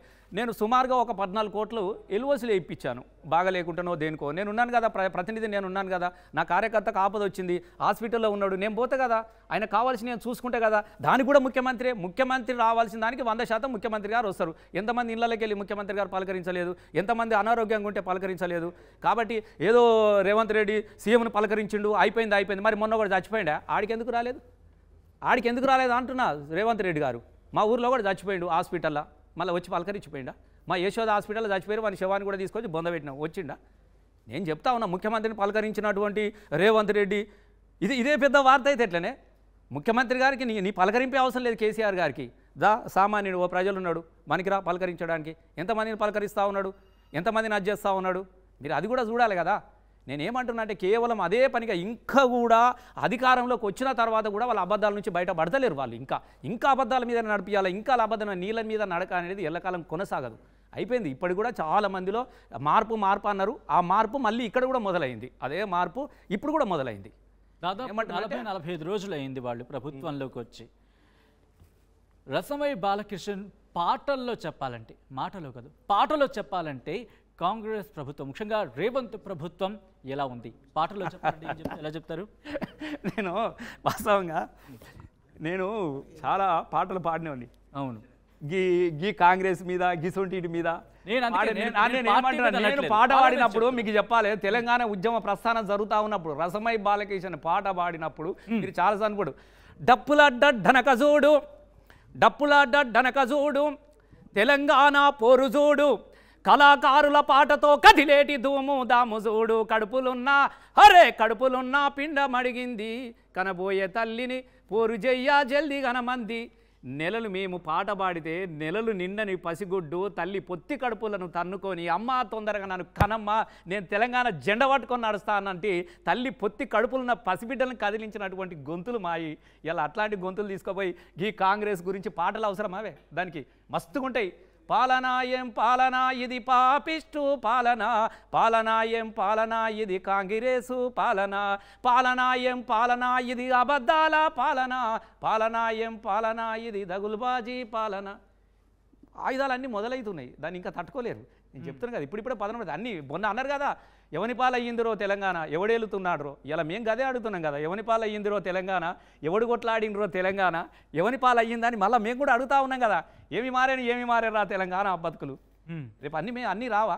నువ్వు నేర్పిన విద్యనే కదా. నీవు నేర్పిన విద్య నీరజ వందకు వంద శాతము. నువ్వు నేర్పిన అన్నీ నీకే అస్త్రాలుగా ప్రయోగించబడతాయి. తప్పకుండా దానికి ఇంకా కాలం ఉంది సందర్భం ఉన్నది సమయం ఉన్నది. ఆ సమయం ఉన్నప్పుడు జమ్మి చెట్టు మీద ఆయుధాలు అట్లనే పదునెక్కి ఉన్నాయి. తప్పకుండా తీస్తాం మేము. అసలు మీ పార్టీ ఉంటేనే కదా అడగడానికి పార్టీనే బొంద పెడతామన్నారు భలే అడుగుతావన్నా నువ్వు. పార్టీని పొందబెట్టుడేంది కేసీఆర్ ఒక్కడు మీరు గుర్తుపెట్టుకోండి. కేసీఆర్ ఒక్కడిగా మొదలైనటువంటి ఒక రైతు ఒకటై రెండై వందలు వేలై కాలే కడుపులా కలిపోరై. ఒకటై రెండై వందలు వేలై కాలే కడుపులా కలిపోరై. చీమల దండై కదిలిన వాళ్ళు పాముల కోరలు పీకిన వాళ్ళు. తెలంగాణ పోరాటాన్ని నడిపినోళ్ళు రాని ఒక్కడిగా మొదలైనటువంటి కేసీఆర్ గారు ఉద్యమ ప్రధానము ప్రస్థానము ఒకటి రెండు అయిపోయినాయి. పది మందిని గెలిపించారు కొనుక్కున్నారు కాంగ్రెస్ వాళ్ళు ఆ రోజుల్లో. మళ్ళీ గెలిచిపించారు మళ్ళీ కొనుక్కున్నారు మళ్ళీ చేసినారు మళ్ళీ కొనుక్కున్నారు గుంజుకున్నారు తెలంగాణ ప్రకటన ఇచ్చిండు వెనకడుగు పోలేదు. కాబట్టి కేసీఆర్ అనే వాళ్ళను పార్టీ ఉంటుందనేది ఇప్పుడు ఎవైతే మాట్లాడుతున్నా ఈ పార్టీ ఉంటుందనో నాకు చెప్పరాదు. ఏదో కాలం కలిసి వచ్చింది ప్రజలు అబద్ధాలను నమ్మిరు. వీళ్ళు ఊకే ఏడిస్తారు ఒక్కొక్కసారి పోరగానే చాక్లెట్లు ఏడతారు చూడు. అమ్మ అమ్మ చాక్లెటే చాక్లెట్ అంటే ఒకసారి ఏం చేసిరు ప్రజలు? ఏ ఆగరా చాక్లెట్ ఎక్కడ రా అంట తల్లి. ఊక బిడ్డ అంటది వీడు ఊకోడు. అమ్మ చాక్లెటే. నీ అమ్మ వీని ఇంట్లో పీనిగల. ఇక వా అన్నోటి వాడేస్తుంది అట్లా తెలంగాణ ప్రజలు కాంగ్రెస్కు పడేసిరు తప్ప దీని తర్వాత కాంగ్రెస్ పరిస్థితి ఉండదు. వంద శాతం చెప్తా ఉన్నా. నేను ఈరోజు ఆ టీవీలో చెప్తా ఉన్నా. నెక్స్ట్ పార్లమెంటు ఎన్నికల తర్వాత చాలా మార్పు జరగబోతా ఉన్నది. రానున్న ఐదు కాలం ఐదేళ్ళ తర్వాత కాంగ్రెస్ పార్టీ కనుమరుగు అయిపోతుంది గుర్తుపెట్టుకోండి. కానీ రెండేళ్ళలోనే పార్టీ ఖతం అయిపోతుంది గెలుపు తెలుసు. మీ- పార్టీకి మీ-. పార్టీ నేతలే అంటున్నారు. అంటే కనీసం ఐదేళ్ళ వరకు వంద రోజులు కాదు కనీసం రెండేళ్ళు కూడా అంటే రెండేళ్ళు కాదు కనీసం వంద రోజులు ఆగలేకపోతున్నారు. కానీ రెండేళ్ళలో మళ్ళీ అడుగుతున్నారు మీరు దయచేసి మీరు గుర్తుపెట్టండి. ఏం వంద రోజుల నేను మీరు? ఒక్కటి చెప్పండి. మేమాగుడు నువ్వాగుడు కాదు. వంద రోజుల అనే పదాన్ని పెట్టింది ఎవరు? గెలిచిన తర్వాత పెట్టుకున్నారు. వాళ్ళే అన్నారు తొమ్మిదవ తారీఖు రోజున డెడ్ లైన్లు పెడితే తీసుకోరి తీసుకోరి బాబు నేను వస్తున్నా తొమ్మిది తారీఖు నాడు ఇస్తున్నా. ఇప్పటికే ఒక అబద్ధం చెప్పారు నిరుద్యోగులకు నాలుగు వేల రూపాయలు ఇస్తా అని చెప్పింది. సాక్షాత్తు వాళ్ళ పార్టీ అధినేత్రి ఆమె ప్రియాంక గాంధీ. తెల్లారి ఏం చెప్పారు బట్టి గారు? ఏ మేము అననే అనలేదు అన్నారు. ఇంకా ఆరు నెలల తర్వాత వీళ్ళే అంటారు అసలు. వీళ్ళ పార్టీ అవును మేమేమో చెప్తిమి మేమేమో చెప్తిమి మేమేమో చెప్తామని చెప్పేసేసి అన్ని మర్చిపోయే పరిస్థితి ఉన్నది. కాబట్టి వంద శాతము వాళ్ళు ఇచ్చినటువంటి హామీలను ఎప్పుడు కూడా ప్రజలు గుర్తు చేయాలి కదా. వాళ్ళకి మతి మార్పు ఎక్కువ. వాళ్ళకు మతి మార్పు ఎక్కువ గుర్తు చేయాలి. ఇప్పటికే ఒకటి మర్చిపోయారు నాలుగు వేలది. నిరుద్యోగుల భృతి అని చెప్పేసి. కాబట్టి వాళ్ళు ఇస్తానని చెప్పిరు కాబట్టే అడుగుతా ఉన్నారు తప్ప మేము అడిగింది కాదు కదా అది. రైట్ కంటిన్యూ చేద్దాం. మౌడి గారు. కానీ ఈ మధ్య కేటీఆర్ గారు అన్నారు రెండు మూడు సంవత్సరాల్లో మళ్ళీ మన కేసీఆర్ ముఖ్యమంత్రి అవుతారని. ఎట్లా అవుతారు ఏంటి? రేవంత్ రెడ్డి గవ- గవర్నమెంట్ కూల్చబోతున్నారా? మేము ఎందుకు కూలుస్తామే? వాళ్ళు వాళ్ళే కూల్చుకుంటారు కదా. ఇప్పుడు సాలేడు సాలేడు పురుగు ఏం చేస్తుంది చెప్పు. సాలేడు సాలేడు పురుగు మీకు మీకు సాలేడు పురుగు ఉన్నది. మీకు పట్టు పురుగు చూద్దాం. సరే ఇప్పుడు మేలిమే కనబడతా ఉన్నది కాంగ్రెస్. పట్టు పురుగు లాంటి పట్టు పురుగు ఏం చేస్తూ ఉంటుంది అల్లుకుంటూ అల్లుకుంటూ పోయింది. చివరికి ఏమైపోతుంది? చివరికి ఏమైపోతుంది? తనను తననే క్లోజ్ చేసుకుంటా ఉంటుంది. రేపు పొద్దుగాల కాంగ్రెస్ని ఎవడు కూల్చాడు? వాళ్ళు వాళ్ళే కూల్చుకుంటారు. వాళ్ళు వా ఇప్పుడే మీరు చూస్తున్నారు కదా ఒక మంత్రికి ఒక మంత్రికి సంబంధం ఉన్నదే. పొద్దుగాల ఈయన ఒకటి మాట్లాడతాడు. మొన్న మనం చూసినాం. మాకు ఎంత విచి విచిత్రం ఏం వచ్చిందంటే ఉత్తమ్ కుమార్ రెడ్డి నీటిపారుదల శాఖ మంత్రులు. అసలు కాళేశ్వరం ద్వారా ఒక నీటి చుక్క రాలేదు ఇదంతా వేస్ట్ అని చెప్పిండు. అన్ని టీవీలలో వచ్చినాయి పొద్దుగల పేపర్లు వచ్చినాయి. అసలు కాళేశ్వరం ఉత్తదే సూచనవాదిల ఇలా కమిషన్లు వచ్చినాయి పలిగిపోయింది పర్యవారింది ఈ నెర్రలు వారిని అని చెప్పేసి ఓ డామ్ డూమ్ డైలాగ్ లేచిండు ఫ్రంట్ పేజీలో ఫోటో వచ్చేసింది. అంటే ఒక చుక్క కూడా రాలేదు చెప్పిండు. అదే మళ్ళీ వారం పదిహేను రోజుల తర్వాత రంగనాయక సాగర్ దగ్గర వాళ్ళ మంత్రి గారు కొండ సురేఖ గారు వచ్చి రంగనాయక సాగర్ యొక్క సిద్దిపేట దగ్గర గేట్లు ఓపెన్ చేసి ఇగో గేట్లు ఓపెన్ చేసిన లక్ష నూట ఇరవై ఎకరాలకు నీళ్ళు అందిస్తున్నామని ఈమె ఫోటో వచ్చినది. ఈమె ఫోటో వచ్చినది మరి ఆ మంత్రి ఏం మాట్లాడిండు? ఈ మంత్రి ఏం మాట్లాడిండ్రు? అంటే ఒక మంత్రికి ఒక మంత్రికి సంబంధం ఉండదు.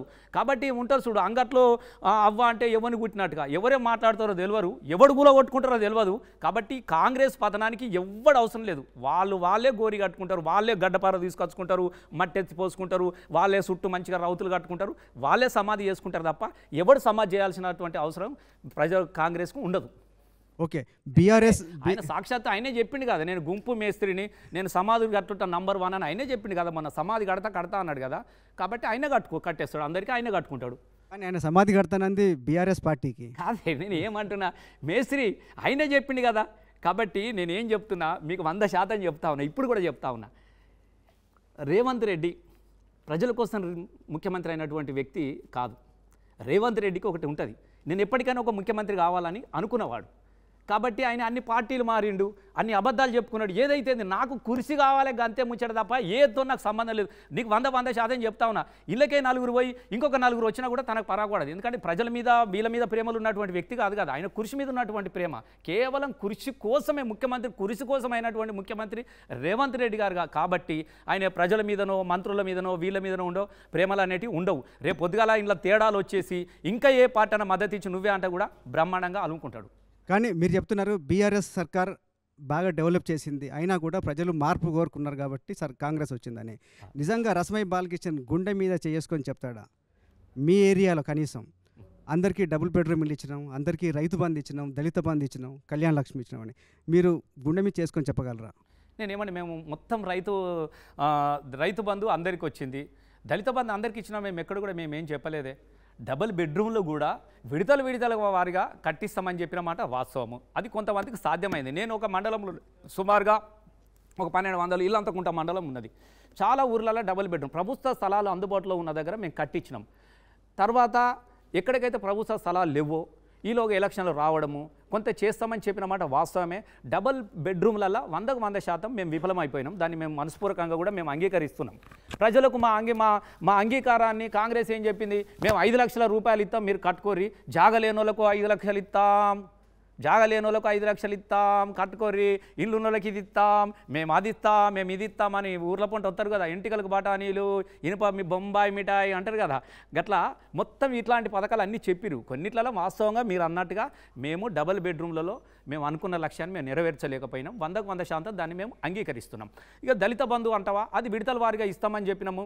కొన్ని పైలట్గా ప్రపంచంలో ఎవరికి సాధ్యమవుతుంది? మీరు చెప్పండి. ఈలోగా ఎన్నికల కోడ్ రావడం కొంత మాకు నష్టం జరిగిన విషయాన్ని కూడా మేము మేము అంగీకరిస్తూ ఉన్నాం. దాంతో మిగతా కులాలకి ఏమైంది? సహజంగా మనిషి ఏందే? జలసి. జలసి. నేను చెప్తున్నా కదా మా జయరాజ్ అన్న అద్భుతంగా చెప్పేవాడు. మనిషి మా జయరాజ్ అన్న ఒక ఒక గొప్పగా ఒక పాట చెప్పిండు. మనిషి ఎంత జెలిసి ఫీల్ ఉంటాడంటే వందకు నేను చెప్తా ఉన్నా. మేము ఒకసారి దళిత బంధు వచ్చింది. వాళ్ళకి ట్రాక్టర్ ఇవ్వడానికి కోసం నేను గ్రామంలో నేను వెళ్ళిన. పక్కనే ఉన్నటువంటి వాళ్ళు ఆమెకు ట్రాక్టర్ ఉంది అన్నున్నది. కానీ ఆమె అన్నమాట. సారు వాళ్ళకే ఇస్తారా సార్? మేము లేని వాళ్ళని లేమా? ఇక వాళ్ళే ఇస్తారు పో ఓట్లు. అంటే సహజంగా ఏమైనా మీకు అన్నీ ఉన్నప్పటికీ కూడా అయ్యో వానికి వచ్చే అన్నటువంటి భావన. నాకు రాకుండా పర్వాలేదు కానీ వాని కూడా రాకపోతే భావన అనేది మనుషులు ఎక్కువ ఉంటుంది. వందకు వంద శాతం కేసీఆర్ గారు పూర్తిగా నిరాదరణకు గురైనటువంటి పేదరికం అనుభవి తరతరాలుగా పేదరికం అనుభవిస్తూ ప్రజల కోసం పనిచేసినటువంటి ఎట్టి చేసిన కుటుంబాలకు ఎంతో కొంతమందికి నేను మేల్చా ఒక పది మంది అన్న సంతృప్తి పడతారు కదా. బీసీ బంధాన్ని పెట్టినాం కదా అందరికీ ఇవ్వడం సాధ్యం కాలేదు కాబట్టి ఇవన్నీ కూడా మాకు కొంచెం ఎలక్షన్లలో ఇవన్నీ కూడా కొంత నష్టం చేసినాయి. మేము దాన్ని కూడా మేము అంగీకరిస్తున్నాం. రస్మయ్య గారు ఒకసారి మిమ్మల్ని ఏదో క్వశ్చన్ చేస్తారంట రేవంత్ రెడ్డి. ఒకసారి క్వశ్చన్ ఏంటో చూద్దాం. ఎస్ రస్మయ్య బాలకిషన్ సంబంధించి రేవంత్ రెడ్డి ఒక సవాల్ చేశారు ఒక క్వశ్చన్ ఇస్తారు ఒకసారి అది చూద్దాం. ఆవు చేన్లో మేస్తే దూడ గట్టు మీద మేయదు. అది కూడా చేన్లనే మేస్తుంది. అట్లనే దొరగారు ఫామ్ హౌసులు కట్టుకున్నారు. గజ్వేళ్ళ తండ్రి కడితే జన్వాడల కొడుకు కట్టిండు. హరీష్ రావు మోయినాబాద్లో కట్టుకున్నాడు. కవితమ్మ పక్కల్ని జన్వాడలో కట్టుకుంది. దొరలందరూ ఫామ్ హౌసులు కట్టుకుంటే కాళేశ్వరం ప్రాజెక్టు కాలువలు వాళ్ళు ఫామ్ హౌస్లకు తీసుకెళ్తే దొరల కంటే నేనేం తక్కువ తిన్నా దళితున్నైనా నాకు కూడా ఫామ్ హౌస్ ఉండాలని మీ ఎమ్మెల్యే ఇక్కడ ఫామ్ హౌస్ కట్టుకున్నాడు. దానికి నీళ్ళు తీసుకుపోనికే పక్కోళ్ళ భూములు ఆక్రమించుకున్నాడు. పేదలు భూముల కోసం పోతే సమస్య పట్టించుకోకపోతే ఎమ్మెల్యే అధికారిక ఆఫీసు ముందే ఒక దళిత బిడ్డ శ్రీనివాస్ ఆత్మహత్య చేసుకొని చచ్చిపోయిండు. ఏంటి మీ ఫామ్ హౌస్ కోసం ఇంత చేశారా? నువ్వు అట్లా కదా ఒక ముచ్చట. పాపం ఆయనకు తెలియదు కదా. రేవంత్ రెడ్డి తెలియదు. ఇదే రేవంత్ రెడ్డి తెల్లారి ఏం చెప్పినాడు? అసలు రసమై బాలకృష్ణను ఎంతో గొప్పడే తెలంగాణ ఉద్యమం ఎన్ని పాటలు పాడిండు? అసలు ఇట్లాంటి వానికి మంత్రి ఇవ్వాలి ఇట్లాంటి వానికి చేయాలని అదే రేవంత్ రెడ్డి తెల్లారి అదే పాదయాత్రలో మాట్లాడుకుంటూ మాట్లాడిన సందర్భం అది కూడా ఉన్నది. దాని గురించి అన్న ఆయనకు తెలియదు పాపం. అసలు ఫామ్ హౌస్ అంటే ఏంటిది? నేను అడుగుతున్నా మిమ్మల్ని చెప్పండి. ఫామ్ హౌస్లు అనేది ఏమంటే బాయి కాడ ఇల్లు కట్టుకుంటారు దొడ్డి కాడ ఇల్లు కట్టుకున్నట్టు అని మనం ఇంగ్లీష్లో ఫామ్ హౌస్ అంటున్నాం. దానిలో ఏం లేదు. బాయి కాడ ఇల్లు మీరు చెప్పండి అసలు వ్యవసాయ క్షేత్రంలో బాయి కాడ ఇల్లు ఇరు- కట్టుకునే వాళ్ళు ఇట్లా మాట్లాడుతూ ఉంటారు. రసమై బాలకృష్ణ నాయుడు ఒక దళిత బిడ్డ. అయితే. అరే ఉండదంటే ఏంది? అంత బాజాబ్తా ఉన్నది నాకు. ఇంకా విషయం చెప్పాలి. మీ- ఫామ్ హౌస్ కోసం దారి చేసిన నేను దారి నేను నువ్వు నన్ను అడిగినావు నేను చెప్పాలి కదా. ఒకటే రెండు విషయాలు దయచేసి. రసమై బాలకృష్ణ అనేటోడు రసమై బాలకృష్ణ అనేటోడు రెండు వేల ఒకటిలో గోషి గంగడితో వచ్చినోడు కాదు వాళ్ళకి తెలియదు. I'm teacher. నేను ఒక హెడ్ మాస్టర్ను మీకు ఆ సంగతి తెలియదు నేను ఒక హెడ్ మాస్టర్ను రసమై బాలకృష్ణ అన్నాడు. ఇంటర్మీడియట్లో ఉన్నప్పుడే పాటలు పాడి క్యాసెట్లు ఎత్తుంటే లక్షల క్యాసెట్లు లక్షల లక్షల రూపాయలు పొన్నాల దాబా ఎక్కడ పోయినా నా పాటలు వినబడేటివి. నేను అప్పటికే మీకు మీకు ఫామ్ హౌస్ అనేది నాకు వంద శాతం ఉన్నది. ఫామ్ హౌస్ కాదు నాకు ఇల్లు లేదు. నేనే వ్యవసాయంగా నా తల్లి ఎప్పుడు కూడా పంట పండించుకొని మనల్ని సాధలేదు. పరిగెరికి వచ్చి సాధిన ఒక దళిత కుటుంబంలో పుట్టిన నేను. మాకు వ్యవసాయాలకు విషయాలు ఉండవు. గుర్తుపెట్టుకోండి. మాకు అవన్నీ ఉండవు. అరే నేను కూడా చదువుకున్న ఒక టీచర్ని అయినా నేను నేను టీవీలలో ప్రోగ్రాంలు చేసిన నేను మన రసమై ధూమ్దాం రసమై ధూమ్దాం టీ న్యూస్లో చేసిన చాలా ఇట్లా నేను యాంకర్ చేసుకున్నా నాకు డబ్బులు వచ్చేసినాయి. అరే మాకు భూమి లేదు కదా కొంత భూమి కొనుక్కున్నా రెండు వేల పదమూడులో. మీకు సంగతి చెప్పాలి రెండు వేల పన్నెండులో ఈయన ఇప్పుడు అన్నాడా రసమై ఫామ్ క్లియర్గా చెప్పండి ఎందుకంటే షార్ట్ కట్లో చెప్పే ప్రయత్నం చేయండి. మొత్తానికి మీరు ఆయన అన్నట్టుగా దారి మళ్ళింపు కోసం పక్క వాళ్ళ భూములు నేను లాక్కున్నారు ఒక- విషయమే. మీరు అసలు మీరు అసలు అడుగుదలేరు ఫామ్ హౌస్ అడుగు ఒడిచిపోవాలి ముచ్చట. ఫామ్ హౌస్ ఉంది ఫామ్ హౌస్ ఉంది వందకు వంద శాతం నాకు ఒక మంచిగా ఒక ఇరవై ఐదు ఎకరాల భూమి ఉంది. నేను బాగా జాపుతా నాకు పొలం ఉన్నది. నేను మంచిగా ఒక పది బర్రెలు ఉన్నాయి. నాలుగైదు ఆవులు ఉన్నాయి నేనే గడ్డి తీస్తా నేను అక్కడ పోతా వాటితో ఉంటా నాకు లేకనో తిండి కోసమో కాదు. నాకు వ్యవసాయం చేసుకోవాలి నాకు వాటి మీద నాకు ఇంట్రెస్ట్ ఎందుకంటే నేను చిన్నప్పుడు బర్రెలను కాసుకున్న పటేల్ దగ్గర. కానీ ఇవ్వాలనే నేను బర్రెలను చదువుకుంటున్నా నేను నేను నీకు వంద శాతం నేను కొనుక్కున్న బాజాబ్తా అసలు రెండు వేల పన్నెండులో రెండు కోట్లు పెట్టి జై తెలంగాణ సినిమా తీసిన తెలంగాణ ఉద్యమం కోసం రెండు కోట్లు. రెండు వేల పన్నెండులో రెండు కోట్లు అని అంటే అప్పుడు యాభై ఎకరాలకు భూమి ఎక్కడ దొరికినా తెలంగాణలో రెండు వేల పన్నెండులో లక్ష రూపాయలకు యాభై ఎకరాలకు ఎకరం అంటే ఇలా వంద ఎకరాలు ఉండే నా దగ్గర. పైసలన్నీ వీకినాయి తెలంగాణ ఉద్యమంకు సినిమా కోసం. తెలంగాణ ఉద్యమంలో గట్లాంటి రసమై బాలకిషోర్ నేను ఆ రోజు రెండు కోట్లు పెట్టి సినిమా తీసిన రోజున ఆయన దగ్గర ఏ కార్లో తిరుగుతుండే రేవంత్ రెడ్డి గారు?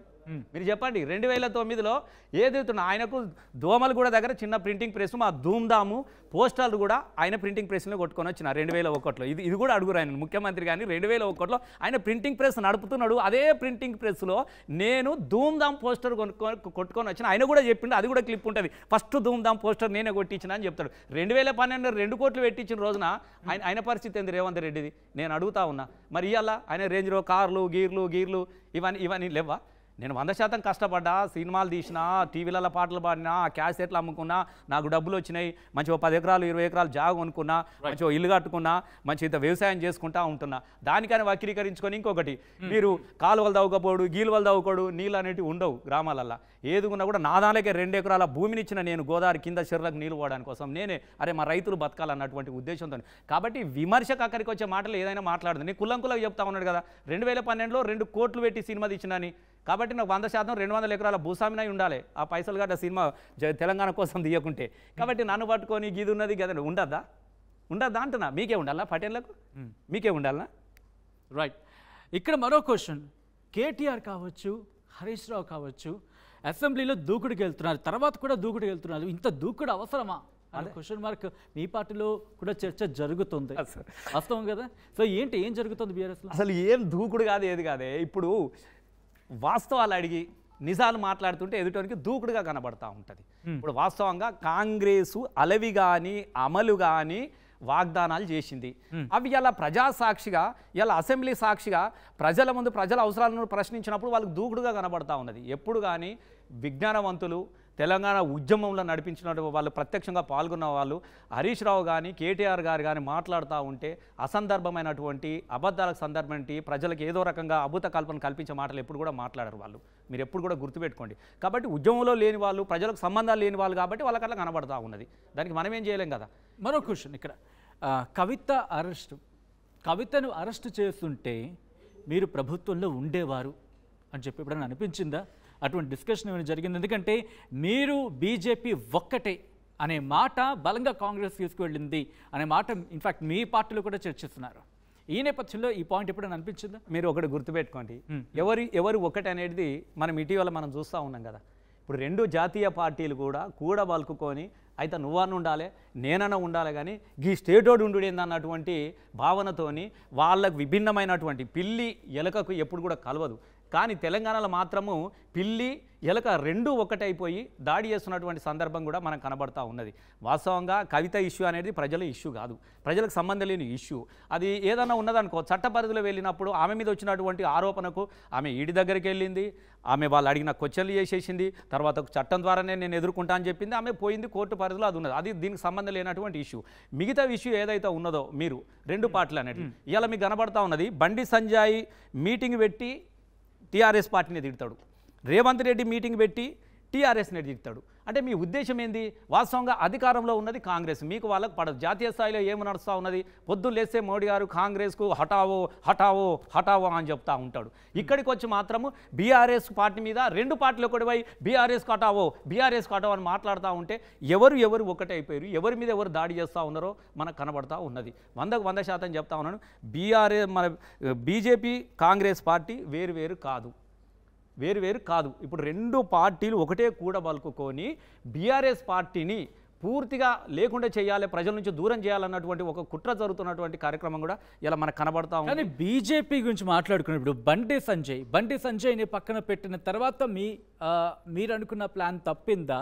ఎందుకంటే బండి సంజయ్ చేసిన కమెంట్స్ చూస్తే ఈ మధ్య మీరు. ఇన్ఫ్యాక్ట్ బీఆర్ఎస్ సంబంధించి కంప్లీట్గా వాష్ అవుట్ చేయాలన్న అర్థం వచ్చేట ఆయన మాట్లాడిన పరిస్థితి చూశారు కాబట్టి ఏంటి? బండి సంజయ్ ఉండుంటే ఎలా ఉండేది? అంటే బీఆర్ఎస్ అధికారంలోకి వచ్చేదా బండి సంజయ్ ఉండుంటే? ఏది ఉండదు. గుర్తుపెట్టుకోండి. బండి సంజయ్ ఉంటానో ఇంకోళ్ళు ఉంటానో ఇంకోళ్ళు ఉంటానో ఏది ఉండదు. ఎప్పుడు కానీ బీజేపీ ప్రజల మనోభావాల మీద ప్రజల మనోభావాల మీద ప్రజలను రెచ్చగొట్టి అధికారంలోకి వచ్చే ప్రయత్నమే చేస్తారు తప్ప ప్రజలను అభివృద్ధికి తీసుకురావాలనో ప్రజలకు ఇది చేయాలనో అది చేయాలన్నటువంటి ఆలోచించే పార్టీ బీజేపీ కాదు. మీరు బండి సంజయ్ చూడండి. ఎప్పుడన్నా ఎక్కడన్నా సందర్భాలలో ప్రజల కోసం మాట్లాడినటువంటి సందర్భం ఉన్నదా? ఎప్పుడు ప్రజలను రెచ్చగొట్టాలి? రెండు వర్గాలను విడదీయాలి. మసీదులు తవ్వుదాం గుడులు తవ్వుదాం మసీదులను తవ్వేద్దాం లింగాలు దొరికితే మాకు శవాలు దొరికితే మీకు అన్నాడు తప్ప ఈ శవాలే కావద్దు. ప్రజలు సంతోషంగా ఉండాలి చల్లగా బతకాలని ఎప్పుడన్నా మనం మాట్లాడినరా కాబట్టి ఇక్కడ తెలంగాణలో తెలంగాణలో బీజేపీ బీజేపీ ఉన్నటువంటి పర్సెంట్ ఏదో గుడిలో మెల్లలాగా మన నాలుగు సీట్లు వచ్చేసినాయి. నాలుగు సీట్లు వచ్చినది కాబట్టి మన ప్రజలంతా విశ్వసిస్తున్నారు. మాకు ఇది మాకు అది ఈయన ఉంటే అదొచ్చు అని అన్ని అద్భుతమైనటువంటి కల్పనలే తప్ప బీజేపీకి తెలంగాణలో చాలా చిన్నది. చిన్నది. దానికి క్యాడర్ లేదు. దానికి ఏది మొన్న నా దగ్గర పోటీ చేసిండు. పదకొండు వేల ఓట్లు వచ్చినాయండి బి- బండి సంజయ్ గారు ఎంపీగా ఉన్నటువంటి మానకొండూరు నియోజకవర్గంలో బీజేపీకి అభ్యర్థికి వచ్చినటువంటి ఓట్లు పదకొండు వేలు. రైట్ సమయ్ గారు. యా క్వశ్చన్ క్వశ్చన్ అక్కడ. ఆ, ఒక టీచరే కాదు. ఒక జానపద కళాకారులే కాదు ఒక ఎమ్మెల్యేగానే ఉన్నారు. కానీ ఒక బ్యూటిఫుల్ లవ్ స్టోరీ ఉంది. మీ మతం కాకపోయినా సరే వేరే వాళ్ళని చేసుకున్నారు. ఆ మీ లవ్ స్టోరీ ఎలా స్టార్ట్ అయింది? సార్ ఇప్పుడు గిన్నెటి మధ్యన మళ్ళా నువ్వు లవ్ ఎందుకే అసలు? అట్లా నేను చదువుకున్నాం కదా కలిసి నడిచిన వాళ్ళము. కలిసి నడిచిన వాళ్ళము ఇంకా నడిసే క్రమంలో చదువుకున్న క్రమంలో ఆ క్రమంలో అవన్నీ మామూలే కదా. అవి ఇప్పుడు ఏమంటారు చూడు. అది ఇప్పుడు దాని గురించి మనం ఇంత సీరియస్గా చేసుకొని మళ్ళా మళ్ళా మొదటి వచ్చినట్టు దానిలో ఏముంటుంది అది మామూలే కదా గది. రస్మయ్య గారు ఇప్పుడు. అంటే మీ ప్రభుత్వం అధికారం లేదు మీకు ఇప్పుడు పదవి లేదు. సో జనరల్గా అడిగే క్వశ్చనే రసమై బాలకిషన్ పార్టీ మారబోతున్నారా? మారితే ఎప్పుడు? ఏ పార్టీలోకి వెళ్ళబోతున్నారు? నాకు పార్టీలు ఏం తెలియదు. నాకు తెలిసినటువంటి ఒకటే ఒక పార్టీ బీఆర్ఎస్ పార్టీ. నాకు తెలిసిన ఏకైక నాయకుడు కేసీఆర్ గారు మాత్రమే. ఎందుకంటే నేను రాజకీయ నాయకుడిని కాదు. నా నేను ఉపాధ్యాయునిగా మొదలైంది తర్వాత కళాకారునిగా మొదలైన వెంటనే రాజకీయాల్లోకి కేసీఆర్ గారు తీసుకొచ్చారు తప్ప ఈ పార్టీలు ఇట్లా ఈ నాయకులు ఇట్లా నాకు ఇంకొక ప్రపంచం తెలియదు ఇంకొక సంబంధాలు ఉన్నాయి నాకు. లేదు లేదు. ఏది రసమై బాలకిషన్లో ఏది ఉండదు గుర్తుపెట్టుకో. రసమై బాలకిషన్ పదవి ఉంటే ఎట్లా ఉన్నాడో ఇప్పుడు కూడా గట్లే ఉంటాడు. నన్ను అందరూ కూడా అట్లా అరే ఇంత ఉంటే ఇంత సింపుల్గా ఉంటే పదవులు అనేటివి మనం కావే. ప్రజలు ఇస్తే వస్తూ ఉంటాయి పోతూ ఉంటాయి. మీరు ఎప్పుడు గుర్తుపెట్టుకోండి. మూడు కాలాలు ఆరు ఋతువులు. తప్పకుండా ఒకసారి పోతూ ఉంటుంది. ఎప్పుడు ఎండాకాలమే ఉండాలంటే ఉండదు ఎప్పుడు వర్షాకాలం ఉండాలంటే ఉండదు కదా. వర్షాకాలం పోతూ ఉంటుంది దాని సమయం వచ్చినప్పుడు మళ్ళీ వస్తుంది. అంతే తప్ప వందకు వంద శాతం రేపు మిగిలేటిది బీఆర్ఎస్ పార్టీ రసమై బాలకిషన్ జీవితకాలం ఉన్నంత వరకు ఆ పార్టీ కోసం పనిచేసిన ఆ పార్టీ నన్ను ఈ స్థాయికి తీసుకొచ్చినది. వంద శాతం నేను ఇలా రాజకీయంలో ఉన్నాను అని అంటే దానికి పునాదులు బీఆర్ఎస్ పార్టీ కాబట్టి ఇంకా ఆలోచనలు ఉన్నాయి ఎస్పెషల్లీ దళిత నియోజకవర్గాల్లో ఒకటి రెండు మినహా మెజారిటీ నియోజకవర్గాల్లో బీఆర్ఎస్ పార్టీ ఓడిపోయింది వంద శాతం దళిత. నాయకుడిగా మీరు మీరు కూడా ఇప్పుడు ఆర్టీవీ వేదికగానే ఒప్పుకున్న మాట ఏంటి అంటే మేము ఆ కమ్యూనిటీకి చేయాల్సిన దానికంటే తక్కువ చేసినామనే ఒపీనియన్ మీరు చెప్పారు కాబట్టి సో దాన్ని సరిదిద్దుకోవడానికి బీఆర్ఎస్ దగ్గర ఉన్న ప్లాన్ ఏంది ఒక దళిత నాయుడుగా మీరు ఏం చెప్తారు ఆ కమ్యూనిటీకి? వంద వంద శాతము. మనం ఒక మీ- మీరు అన్నది కూడా వాస్తవం ఎందుకనంటే ఎక్కువగా వెంటనే చేయాల్సినటువంటి వాళ్ళకు ఎస్సీలకు తెలంగాణ రాష్ట్రం వచ్చిన తర్వాత ఫస్ట్ ప్రయోజనాలు ఎవరికి జరగాలంటే పేదవాళ్ళకి జరగాలి. ఆ పేదవాళ్ళలో కూడా వీళ్ళు చాలా అట్టడుగు వర్గంలో ఉన్నారు. కానీ మనకి ఇక్కడ ఉన్నటువంటి పరిస్థితుల్లో తెలంగాణలో ముఖ్యంగా నీళ్ళు నీళ్ళు లేక వలసపోయినటువంటి దుఃఖాన్ని మనం ఎదురు చూసినాం కాబట్టి ముఖ్యంగా కాళేశ్వర్ లాంటి ఒక పెద్ద ప్రాజెక్టును మొదలు పెట్టుకోవడం అంటనే వెంటనే వెంటనే చాలా చాలా రోజులుగా కొట్లాడి కొట్లాడి ఏదైతే పోగొట్టుకున్నామో దాన్ని తిరిగి నిలబెట్టుకున్నటువంటి క్రమంలో ఫస్ట్ మనం నీళ్ళ గురించి ప్రాజెక్టులు పెద్దవి తీసుకోవడంతో చేయాల్సినంత తొందరగా ఆ జాతులకు మనం చేయలేకపోయినాం. ముఖ్యంగా దళిత బంధు లాంటి పథకం కనుక అమలు చేసి ఉంటే వందకు వంద శాతం దళితులు మనల్ని ఓన్ చేసుకున్న వాళ్ళు. మేము ఆ విషయంలో ఖచ్చితంగా మేము అంగీకరిస్తూ ఉన్నాము. తర్వాత పింఛను ఇల్లు లేని వాళ్ళు కూడా చాలామంది పేదవాళ్ళు దళితులు ఇల్లు కూడా ఉండవు. ఒకటే ఇంట్లో అందులోనే ఉంటారు చాలామంది ఇబ్బందులు. అది కూడా మనం పూర్తి స్థాయిలో చేయలేకపోయినాం. వందకు వంద శాతం రేపటి భవిష్యత్తులో మళ్ళీ బీఆర్ఎస్ పార్టీ అధికారంలోకి వచ్చేదాకా మొట్టమొదటి ప్రాధాన్యత ఏదైతే దళిత బంధు ఉన్నదో దాన్ని ఖచ్చితంగా కంటిన్యూ చేసి ప్రతి దళిత కుటుంబానికి కూడా పది లక్షలు అమలయ్యేటట్టుగా తప్పకుండా మళ్ళీ బీఆర్ఎస్ పార్టీ ప్రభుత్వంలో అధికారంలోకి వస్తుంది. వాళ్ళు ఏదైతే అనుకుంటా ఉన్నారో అది సంపూర్ణంగా పూర్తి చేస్తాం. సార్ రస్మయ్య గారు కాళేశ్వరం అవినీతే మీ కొంప ముంచిందా? అవినీతి ఉంటుంది కాళేశ్వరంలో. లక్షల వేల కోట్ల రూపాయలు కాంట్రాక్టర్తో కుమ్మక్కై అవినీతికి పాల్పడ్డారు. త్వరలోనే అన్నీ కక్కిస్తాం అని ఇప్పటికే మంత్రులు చెప్తున్నారు. ఫస్ట్ వాళ్ళు రాత్రి తాగి మాట్లాడుతున్నారు కక్కుకుంటా. కాబట్టి కక్కిస్తాం కక్కిస్తాం అనేది ఎక్కువ మాట్లాడుతూ ఉన్నారు. కాళేశ్వరం ప్రాజెక్టు బడ్జెట్ ఎంతనే? వాళ్ళే చెప్పిరా ఎనభై వేల కోట్లు అని చెప్పేసి. ఎనభై వేల కోట్ల లక్ష కోట్ల అవినీతి జరుగుతుందా? ఎక్కడైనా మీరే చెప్పండి. ఎక్కడన్నా జరుగుతుందా? అది సాధ్యమవుతుందా వాళ్ళు మాట్లాడే మాటకు పొంతన ఉన్నదా చెప్పండి. వందకు శాతం వంద శాతం చెప్తా ఉన్నాను ఇలా కాళేశ్వరం నా నా నియోజకవర్గం ఉన్నది. లక్ష ఎకరాలకు నీళ్ళు ఇచ్చినాం మేము. వాస్తవంగా ఒకప్పుడు బెజ్జంకి ఇల్లంతకుంట కొంత శంకరపట్నము తిమ్మాపూర్ మండలము మానకొండూరు కేశం ఇవన్నీ కూడా పూర్తిగా ఎగువ భాగం అంతా కూడా పత్తి సేన్లే తప్ప ఇంకొకటి ఉండేది కాదు. వలసలు పోయేవాళ్ళు. అట్లాంటి దానికి ఇలా తోటపల్లి రిజర్వాయర్ ద్వారా అనంతగిరి రిజర్వాయర్ ద్వారా రంగనాయకసారి రిజర్వాయర్ ద్వారా లక్ష ఎకరాలకు మనం నీళ్ళు ఇస్తా ఉన్నాం. ఇలా చేయకపోవచ్చు. కాంట్రాక్టర్ అవినీతికి పాల్పడ్డాడు విజిలెన్స్ దాడులు నువ్వు నువ్వు ఒకటి నిజంగానే వాళ్ళ ఆ మాట మీద ఉంటే నిరూపించుకోవాలి. నిరూపించాలి తప్ప ఉత్తమ మాటలు మాట్లాడదు. అంతకుముందు వాళ్ళు కూడా చేసినవి చాలా ఉన్నాయి. వాళ్ళు కూడా ప్రా కాంటాక్ట్ చేసిరు వరద కాలాలు జరిపారు వాళ్ళు కూడా అన్ని చేసిరు కదా. ఏ ప్రాజెక్టులు కూడా వేల కోట్ల లక్షల కోట్ల అవినీతి అనేది ఎక్కడ కూడా జరగదు. ఇది ప్రభుత్వం ఒక ప్రాసెస్లో పోతుంది. దీనికి ఒక టెండర్ ఉంటుంది దీనికి ఒక వ్యవస్థ ఉంటుంది దీనికి ఒక బ్యాంకు లీకేజ్ బ్యాంకు లింకేజ్ ఉంటుంది. ఉత్తగానేనా? ఒక బ్యాంకు నుంచి డబ్బులు తీసుకొచ్చి మన ప్రాజెక్ట్ మీద మనం పెట్టుబడి పెట్టినప్పుడు తీసుకునే నేను తీసుకొని పోతానంటే బ్యాంక్ వాడు ఇస్తాడా? కాబట్టి ఇవన్నీ పనికిరాని ఆరోపణలు. ఎలా తెలుస్తూ ఉంది కదా వంద శాతం చెప్తున్న కాళేశ్వరం ప్రాజెక్టును ద్వారా నీళ్ళు ఇచ్చే పరిస్థితిలో కాంగ్రెస్ ప్రభుత్వం లేదు.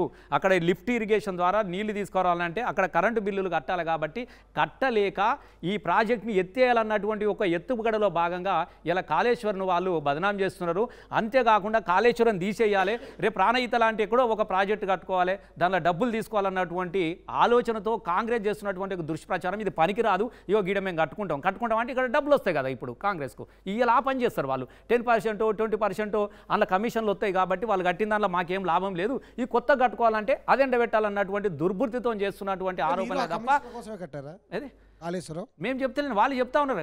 కాళేశ్వరం ప్రాజెక్ట్ అనేది తెలంగాణ తీసుకొచ్చుకున్న తర్వాత మేమే కదా తలాపున పారుతుంది గోదావరి మాసేను పా ఎడారి అని తాగబోతే నీళ్ళు లేక తుమ్మెదాలు తడిగొంతు లారిపాయ తుమ్మెదాలు ఊరవతల బోరింగు తుమ్మెదాలు సప్పుడేమో తుమ్మె టింగు టింగు కొట్టి కొట్టి చేతులు ఇరిగే ఒర్రి ఒర్రి నోరువాయ్ నీళ్ళ కోసం జగడమాయి అని చెప్పేసి కసికడి నీళ్ళ కోసం కన్నీళ్ళు పెట్టినటువంటి దుఃఖాన్ని ఆలపించినటువంటి తెలంగాణ నేల మీద ఇలా నీళ్ళు రావాలన్నటువంటి గొప్ప సంఖ ఎవరండి ప్రపంచ చరిత్రలో? ఇలా మీరే చూస్తున్నారు కదా మీరు భూమి నుంచి భూమి నుంచి దివి నుంచి భూమికి వచ్చిండు. అరే దీవిని తీసుకొచ్చిందని చెప్పి మహా భగీరథుడు మనకు భూమి నుంచి దివికి నీళ్ళు తీసుకొచ్చిన అన్నట్టు మనం మనం మస్తు చెప్పుకున్నాం మనం. ఆకాశం నుంచి నీళ్ళ కిందికి తీసుకొచ్చిన. ఈయన నీలో కింది నుంచినటువంటి నీళ్ళని పైకి తీసుకొచ్చినటువంటి సందర్భం ఇక్కడ కనబడదండి ప్రపంచంలో? తీయండి ప్రాజెక్టులు అన్నిటి కూడా.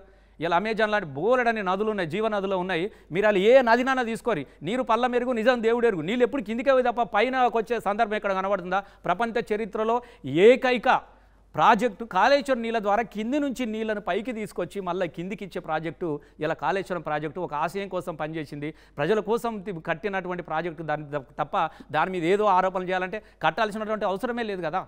నిజంగానే కేసీఆర్ గారు కనుక అనుకుంటే ఇది కావాలి అది కావాలనుకుంటే అవసరమే లేదు. ప్రాజెక్టుల ద్వారా కమిషన్లు ఏమొస్తాయండి? నాకు చెప్పండి మీరు చెప్పండి. అది రాదు కదా. కమిషన్లు సంపాదించుకోవాలంటే చాలా ఉంటాయి చాలా ఉంటాయి. ఇలా వాళ్ళు చేసే పనులు చాలా ఉంటాయి. ఎక్కడో ఇక్కడ వాళ్ళందరూ కూడా పిల్లలు వాళ్ళు వచ్చిన వాళ్ళందరూ కూడా కాంట్రాక్ట్లే కదా. వీళ్ళందరూ పని చేసుకోవడం వీళ్ళు కోమటెడ్ బ్రదర్స్ కాంట్రాక్టర్లు గారా? అదే కాళేశ్వరం ప్రాజెక్టు కోసము కాలువల ద్వారా పనిచేసింది ఇలా పొంగిలేటి శ్రీనివాసరెడ్డి గారి వాళ్ళు వారు వాళ్ళు గారా? వాళ్ళే చేశారు కదా. ఆ ప్రాజెక్టు పనులు వాళ్ళు కూడా తీసుకొని చేసినారు. అంటే కూడా దీంట్లో కాళేశ్వరంలో వాటా ఉంది. మళ్ళీ వాటలు అంటే ఆయన ఆయన కూడా ఆయన తప్పు చేశారు అసలు ఇలా ఏమీ జరగలేదని చెప్తున్నా మీకు ఫస్ట్ నీకు పొంగులేటికి వాటా ఉంది వీళ్ళంతా పైసలు దొబ్బిరా నేను అనట్లేదు దయచేసి. ఆయన కూడా పని చేసినోడే కదా ఆయన కూడా తెలిసి ఉండాలి అని. ఎంపీగా ఉన్నప్పుడు వాటా ఇచ్చారా? అన్న నువ్వు గుర్తుపెట్టుకో ఏ ప్రాజెక్టు ద్వారా కూడా లక్షల కోట్లు అనేటి వాటాలు రావే మీరు గుర్తుపెట్టుకోండి. ప్రాజెక్టులు అనేది నువ్వు ఎంత పని చేస్తే అన్ని డబ్బులు వస్తాయి. ఇది అభూతమైనటువంటి ఆ- నేను ఒక అధికారంలో ఉన్నటువంటి పార్టీ నిజంగా డబ్బులే సంపాదించుకోవాలనుకుంటే గిదే గిదేం అవసరం చెప్పండి. ఈ బంజారా హిల్స్లో రెండు ఎకరాలు గిట్లని గిట్ల రాతే ఇక్కడ రావా? నువ్వు ఆడ వెయ్యి సంవత్సరాలు కాదు. కాబట్టి కేసీఆర్ లాంటి వ్యక్తి నీతితోని నిజాయితీతోని తెలంగాణ అభివృద్ధి జరగాలని కోరుకునే వ్యక్తి కాబట్టి ఇలా హైదరాబాద్ పరిస్థితి ఇలా అంతే అలా అద్భుతంగా కనబడతా ఉన్నది. మీరు గుర్తుపెట్టుకోండి ఇక. ఇంకోటి మీకు ఇది కూడా చెప్పాలి దయచేసి. ఇలా ఒకప్పుడు ఒకప్పుడు కాళేశ్వరం ప్రాజెక్టు కింద దయచేసి లాస్ట్ది. కాళేశ్వరం ప్రాజెక్టు కింద ఒకప్పుడు తెలంగాణలో ఐదు లక్షలకు రెండు లక్షలకు ఎకరము ఐదు లక్షలకు ఎకరము పది లక్షలకు ఉండే ఎకరం ఉన్నది ఇలా కోటి రూపాయలకు ఎకరం అయిందండి గుర్తుపెట్టుకోండి. ఇలా గ్రామాలు అభివృద్ధి చెంది పాడి పంటలకు నీళ్ళు వస్తున్నాయి కాబట్టి కాలువ ద్వారా నీళ్ళు వస్తున్నాయి కాబట్టి భూమి విలువలు కూడా పెరిగిపోయినాయి అంటే మీరు మీరు గుర్తుపెట్టుకోండి. కేసీఆర్ లాంటి వ్యక్తి కేవలము తెలంగాణ అభివృద్ధిని కోరుకున్నటువంటి వ్యక్తి కాబట్టి ఇలా ఇంత అభివృద్ధి చేసిండు ఇన్ని ప్రాజెక్టు కట్టిండు ఇంత అద్భుతాన్ని సృష్టించగలిగిండు. కానీ ఇదే ఇదే ఇదే పులి బయటకు వస్తే బోన్లో వేస్తామంటున్నారు కాంగ్రెస్ నేతలు. ఏంటి మీ రియాక్షన్? బోర్లా బోను బోనులో వేస్తారంట. ఈ పులి కనుక బయటకు వస్తే బోనులో వేస్తామని చెప్పి కాంగ్రెస్ నేతలు అంటున్నారు. ఆయన లోపల ఎప్పుడు ఎప్పుడు బయటనే ఉన్నాడు కదా. ప్రజల్లో ఉన్నాడు ప్రజల గుండెల్లో ఉన్నాడు తెలంగాణలో ఉన్నాడు. కాబట్టి నేను చెప్తా ఉన్నా. ఇప్పుడు పిల్లులను సంకలో పెట్టుకొని బోన్లో పెట్టుకొని తిరిగినటువంటి వాళ్ళకి అట్లే కనబడుతుంది. ఆయన కూడా అట్లే అనుకుంటారు వాళ్ళు అనుకుంటారు. కేసీఆర్ లాంటి వ్యక్తిని బోన్లో బంధించడం అనేది ఎవరి సాధ్యం కాదు. మహామల ఎవరి సాధ్యం కాదు. కేసీఆర్ గారే అందరిని బోన్లో బంధిస్తాడు గుర్తుపెట్టుకోండి. వచ్చిన ఆరోపణలకు ఏం సమాధానం ఇస్తారు? మీకు సర్పంచ్లు అంటే పడట్లేదట వాళ్ళకి వచ్చేటటువంటి నిధులు బిల్లులు ఏవైతే ఉన్నాయో ఆపుతున్నారట. అండ్ ఇటీవల దొనుకుల కొండాపూర్ సర్పంచ్ భర్త చేసినటువంటి వీడియో కూడా ఒకటి వైరల్ అయింది. సో దానికి ఏం సమాధానం ఇస్తారు? నిజంగానే మీరు సర్పంచ్లకు వచ్చే బిల్లులను అడ్డుకుంటారు నేను ఒక విషయమే సర్పంచ్ల బిల్లులు సర్పంచ్లు అనేటి ఎమ్మెల్యే పరిధిలో ఉండేటి కావు.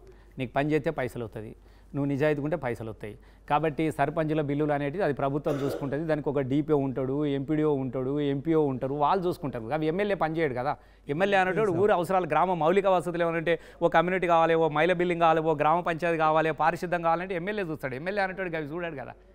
కాబట్టి నూట నలభై మంది సర్పంచ్లు ఉన్నారు నాకు. ఏదో ఒక సర్పంచ్ ఆరోపణలు ఎవరో చెప్పంటే అయ్యేటి కాదు కదా. రోజు గిట్లనే చేస్తారు. ఇలా కూడా చేస్తలేరా? కళాకారులు చేస్తారా? గట్లే నచ్చినకు ఒక తీరు ఉంటుంది నచ్చనుకు ఇంకొక తీరు ఉంటుంది. నేను నిజాయితీగా పనిచేసినాను గొప్పగా అభివృద్ధి జరగాలని కోరుకున్నాం. మానకొండూరు నియోజకవర్గాన్ని ఇవాళ అన్ని నియోజకవర్గాల కన్నా కూడా నాకు ఉన్నటువంటి పరిచయంతో చాలా గొప్పగా అభివృద్ధి చేసినటువంటి సంతృప్తి నాకున్నది. కవ్వంపల్లి కేక్ పూసారు కదా మహిళకి దాని వెనక ఉన్న మీరే కాదే దాని వెంకట నేను వెనుకునేది తోచినట్టే చేయబడుతుంది పదే చెప్తావు ఆమె వాళ్ళ పార్టీ అధ్యక్షురాలు. ఆమె మహిళా కాంగ్రెస్ జిల్లా పార్టీ అధ్యక్షురాలు. ఆమె మంచి చదువుకున్న కుటుంబము. వాళ్ళ ఆయన ఒక టీచరు. ఇక కాబట్టి నేను ఆయన గురించి ఇక నేను మాట ఎందుకంటే ఆయన క్యారెక్టర్ ఏంది ఆయన ఏంది అనేది ప్రజలు చూసిరు మీరు కూడా చూసిరు బాగా పాపులర్ చేసింది రసమే బాలకృష్ణ. మీరు ఇందాక ఇందాక మిత్రుడు చంద్రబాబు గారు కూడా అన్నారు నీకు ఫేస్బుక్లో నువ్వు చేసి నేను చెప్పుకోలేకపోయాను. నాకు అది బెటర్ అది చేసి నాతో కాదు.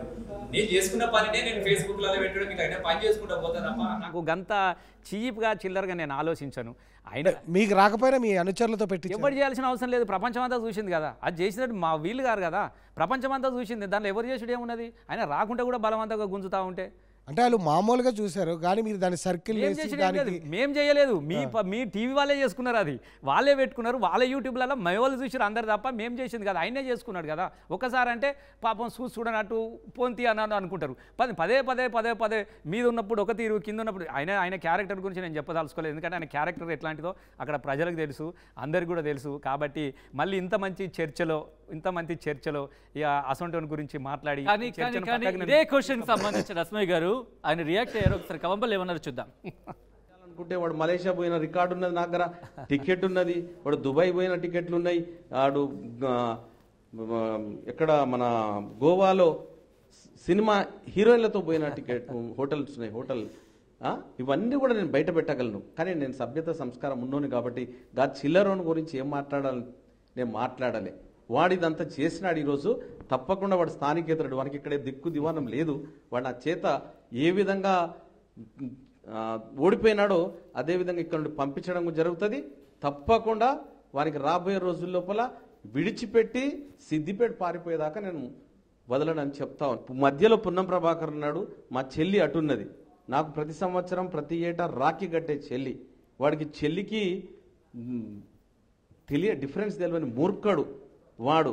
వాడు ఇష్టం వచ్చినట్టు మాట్లాడడం ఆ చెల్లిని ఎంత ఏడుస్తుంది ఎంత క్షోభపడుతుంది ఎంత బాధపడుతూ ఉన్నది ఆ ఈడియట్ వల్ల తెలియదు ఆమె ఒక గ్రామానికి పెద్ద గ్రామానికి సర్పంచ్ ఆమె. పదేళ్ళుగా ఎంపీటీసీగా చేసింది ఎం సర్- సర్పంచ్గా ఉన్నది. అటువంటిది పట్టుకొని వాడు ఇట్లా అట్లా అని రకరకాలుగా కూస్తూ ఉన్నాడు. ఇదంతా కూడా టీఆర్ఎస్ వాళ్ళు వెనుక ఉండి రసమై బాలకిషన్ నేను ప్రతిసారి తిట్టేది. అరే రాసలేళ్ళ ర- రసమయ్య రాని. రాసలీలకు ప్రసిద్ధి చెందినోడు రసమయ్య అని ఇప్పుడు చూసినారు కదనే ఆయన ఒక ఎమ్మెల్యే ఆయన భాష ఆయన యాస అరే పిచ్చోడ ఇక్కడ కాదు రసమై బాలకిషన్ ఎమ్మెల్యే కాదు ప్రపంచ దేశాలలో గజగట్టించుడు నేను ప్రపంచ దేశాలల్లా ఎన్నో దేశాలల్లా నేను పాటలు పాడినా ఆటలు పాడినా ఎవడన్నా చెల్లెకు చెంపగిల్లంగా చూసినావే తెలంగాణలో?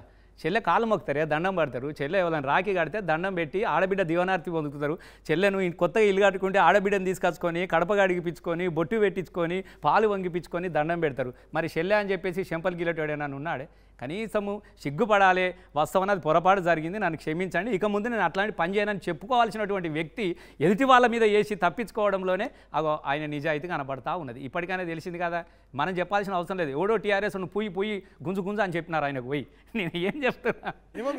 ఇది ఒకటే అంటే నేను ఏం చెప్తాను దానికి రసమైకి ఏమైనా సంబంధం ఉన్నదా? మీరు చెప్పురి నీ గుంజడానికి నీ పుయ్యడానికి నీ పులమడానికి నాకేమైనా సంబంధం ఉన్నదా? మీరు చెప్పురి. అంటే పొద్దస్త మాననం మమ్మల్ని ఆడిపోసుకోవాలి మా మీద నెట్టాలి. అది దట్ ఈస్ ఫెలో క్యారెక్టర్ ఆయన క్యారెక్టర్ గట్లాంటిది. ఆయన డాక్టర్ అంటాడు చదువుకున్నాడు గోవా అంటాడు. నేను నేను అట్లా అంటలేను సరే పొరపాటు జరిగింది. ఒకసారి కాలు తగిలింది. అమ్మ సారీ అమ్మ చూడలేదమ్మా అని చెప్తా ఉంటారు. ఆ అమ్మాయి సర్పంచ్ అని చెప్పినావు. ఆమె రాఖీ గట్టెలతోని రాఖీ గట్టే చెల్లెకి ఎవరైనా ప్రపంచంలో ఇట్లా చేస్తారో అని చెప్పురేనే. నేను ముక్కు నెలకు రాసిపోతా. సరే అసలు ఏందేమో అది ఏం వదిలేయండి కానీ ఏదో హీరోయిన్తో గోవాకి వెళ్ళారంట కదా హోటల్ రూమ్ నేను కూడా మస్తుగా అంటే చెప్తా ఉంటా. హీరోయిన్ ఆయన రోజు ఆయన తీసుకొచ్చుకోండి నేను అంటే అది అట్లా అనడం సబబ్ అన్నది హీరోయిన్ల క్యారెక్టర్లు ఉండేయా? క్యారెక్టర్స్ ద్వారా హీరోయిన్ అనేది ఒక కళాకారులే? నేను కూడా హీరోనే కదా నేను కూడా సినిమాలు తీసిన నేను కూడా ఒక ప్రొడ్యూస్ చేసిన అంత పెద్ద సినిమా తీసిన రుద్రాంగి లాంటి సినిమా తీసిన తుపాకి రాముడు బిత్తిరి సత్తిని హీరోగా పెట్టి సినిమా తీసిన నేను నేను కూడా చాలా సినిమాల్లో నటించిన. ఏ క్యారెక్టర్స్ ఉండే వాళ్ళ మనుషులు కదా అంటే హీరోయిన్ ఎంత చిల్లరగాడు అదే హీరోయిన్ ఉంటే చెప్పుతాం కొడుతుంది వాడిని హీరోయిన్ అనగానే ఆ క్యారెక్టర్లు ఉంటాయి? హీరోయిన్లకు ఎంత గొప్పలే? కళాకారులు నువ్వు నాకు చెప్పు నేను మాట్లాడుతా ఉన్నా అంటే వానికి దట్ ఫెలోకి ఏం తెలియదు. హీరోయిన్ లాంటి ఇట్లుంటారు హీరో గదా ఆడు మాట్లాడేది. నేనేమంటున్నా అంటే సభ్యత లేని వ్యక్తి. ఒక డాక్టర్ ఎట్లా మాట్లాడాలి? కాబట్టి ఆయన తప్పించుకోవడాని కోసం ఇది కాదు ఇది ఒకటే ముచ్చట కాదు. ఇక రోజు గదే పాట వాడు గవ్వే మాట్లాడు చిల్లర మాటలు చిలిపి పనులు మొన్న కూడా వాడు వీడు ఇదే సంస్కారం. కాబట్టి ఎవరికైనా అవసరం లేదు. ఎవరిని కూడా నువ్వు చేసింది తప్పు వంద శాతం. చూసినావు కదా? ప్లీజ్ అంటే కూడా వదులుతలేడు. ప్లీజ్ అంటే కూడా వదులుతలేడు. ఏమైనా ఉన్నదా అది? చెల్లెకు అన్నకున్న సంబంధం ఉన్న దానిలో కనీసం ఇప్పటికైనా ఇంకా దాన్ని తప్పు అయిపోయింది నాది పొరపాటు జరిగింది నేను తాగిన మైకంలో చేసిన నాకు చెల్లె తెలియలేదు నాకు వీలు కనబడలేదు అని చెప్పి తప్పించుకొని దండం పెట్టాల్సినటువంటి వ్యక్తి పట్టుకొని నేనే చేయించిన అసలు నాకు నాలుగైదు రోజుల దాకా నాకు తెలియదు నాకెవడో పెట్టిండి అన్నా వీడు చూసినావే తెల్లారే మొదలు పెట్టిండే ఈ కథ అని చెప్పేసేసి. కాబట్టి కాబట్టి దాన్ని మళ్ళా దానిలో మమ్మల్ని పెట్టడం అని అనడం అనేది నాకు పెద్ద జోక్ అనిపిస్తూ ఉన్నది ఈ సంవత్సరంది. Right thank you so much Rasamayya Balakrishna garu. RTV స్టూడియోకి వచ్చి అన్సన్సార్లో పాల్గొని నేను అడిగిన క్వశ్చన్స్తో పాటు మా ఎడిటోరియల్ టీం అడిగిన క్వశ్చన్స్ కూడా సమాధానం ఇచ్చే ప్రయత్నం చేసినందుకు. సో మొత్తంగా అయితే మాత్రం మానకొండూరు మాజీ ఎమ్మెల్యే రసమయ్య బాలకృష్ణ చెబుతోంది ఒక్కటే. ఏదైనా పార్టీలోనే ఉంటాం. పార్టీ అది నెక్స్ట్ ఎప్పుడైనా కావచ్చు. రెండేళ్ళ తర్వాత ఐదేళ్ళ తర్వాత వందేళ్ళ వంద రోజుల తర్వాత ఏదైనా కావచ్చు. అప్పుడు మళ్ళీ కనుక అవకాశం అంటూ ఉంటే వస్తే అది బీఆర్ఎస్ వస్తుందంటున్నారు. సో ఈ నేపథ్యంలో బీఆర్ఎస్ ఏ వ్యూహంతో వెళ్ళబోతోంది? కాంగ్రెస్ని ఎదుర్కొనేందుకు ఎటువంటి వ్యూహాలు పనబోతోంది? కాంగ్రెస్ ఎటువంటి వ్యూహాలు పన్నుతుంది? ఆ విషయంలో ఎటువంటి చర్చ జరిగే అవకాశం ఉంది? ఎటువంటి అవకాశాలు ఎటువంటి డెవలప్మెంట్స్ నోట్ చేసుకునే అవకాశం ఉంది? ఇవన్నీ వేచేసి చూద్దాం. Keep watching state to RTV మరిన్ని వీడియోస్ కోసం ఛానల్ సబ్స్క్రైబ్ చేయండి. లేటెస్ట్ అప్డేట్స్ కోసం వాట్సాప్ ఛానల్ని ఫాలో చేయండి. అండ్ లింక్ డిస్క్రిప్షన్లో ఉంది.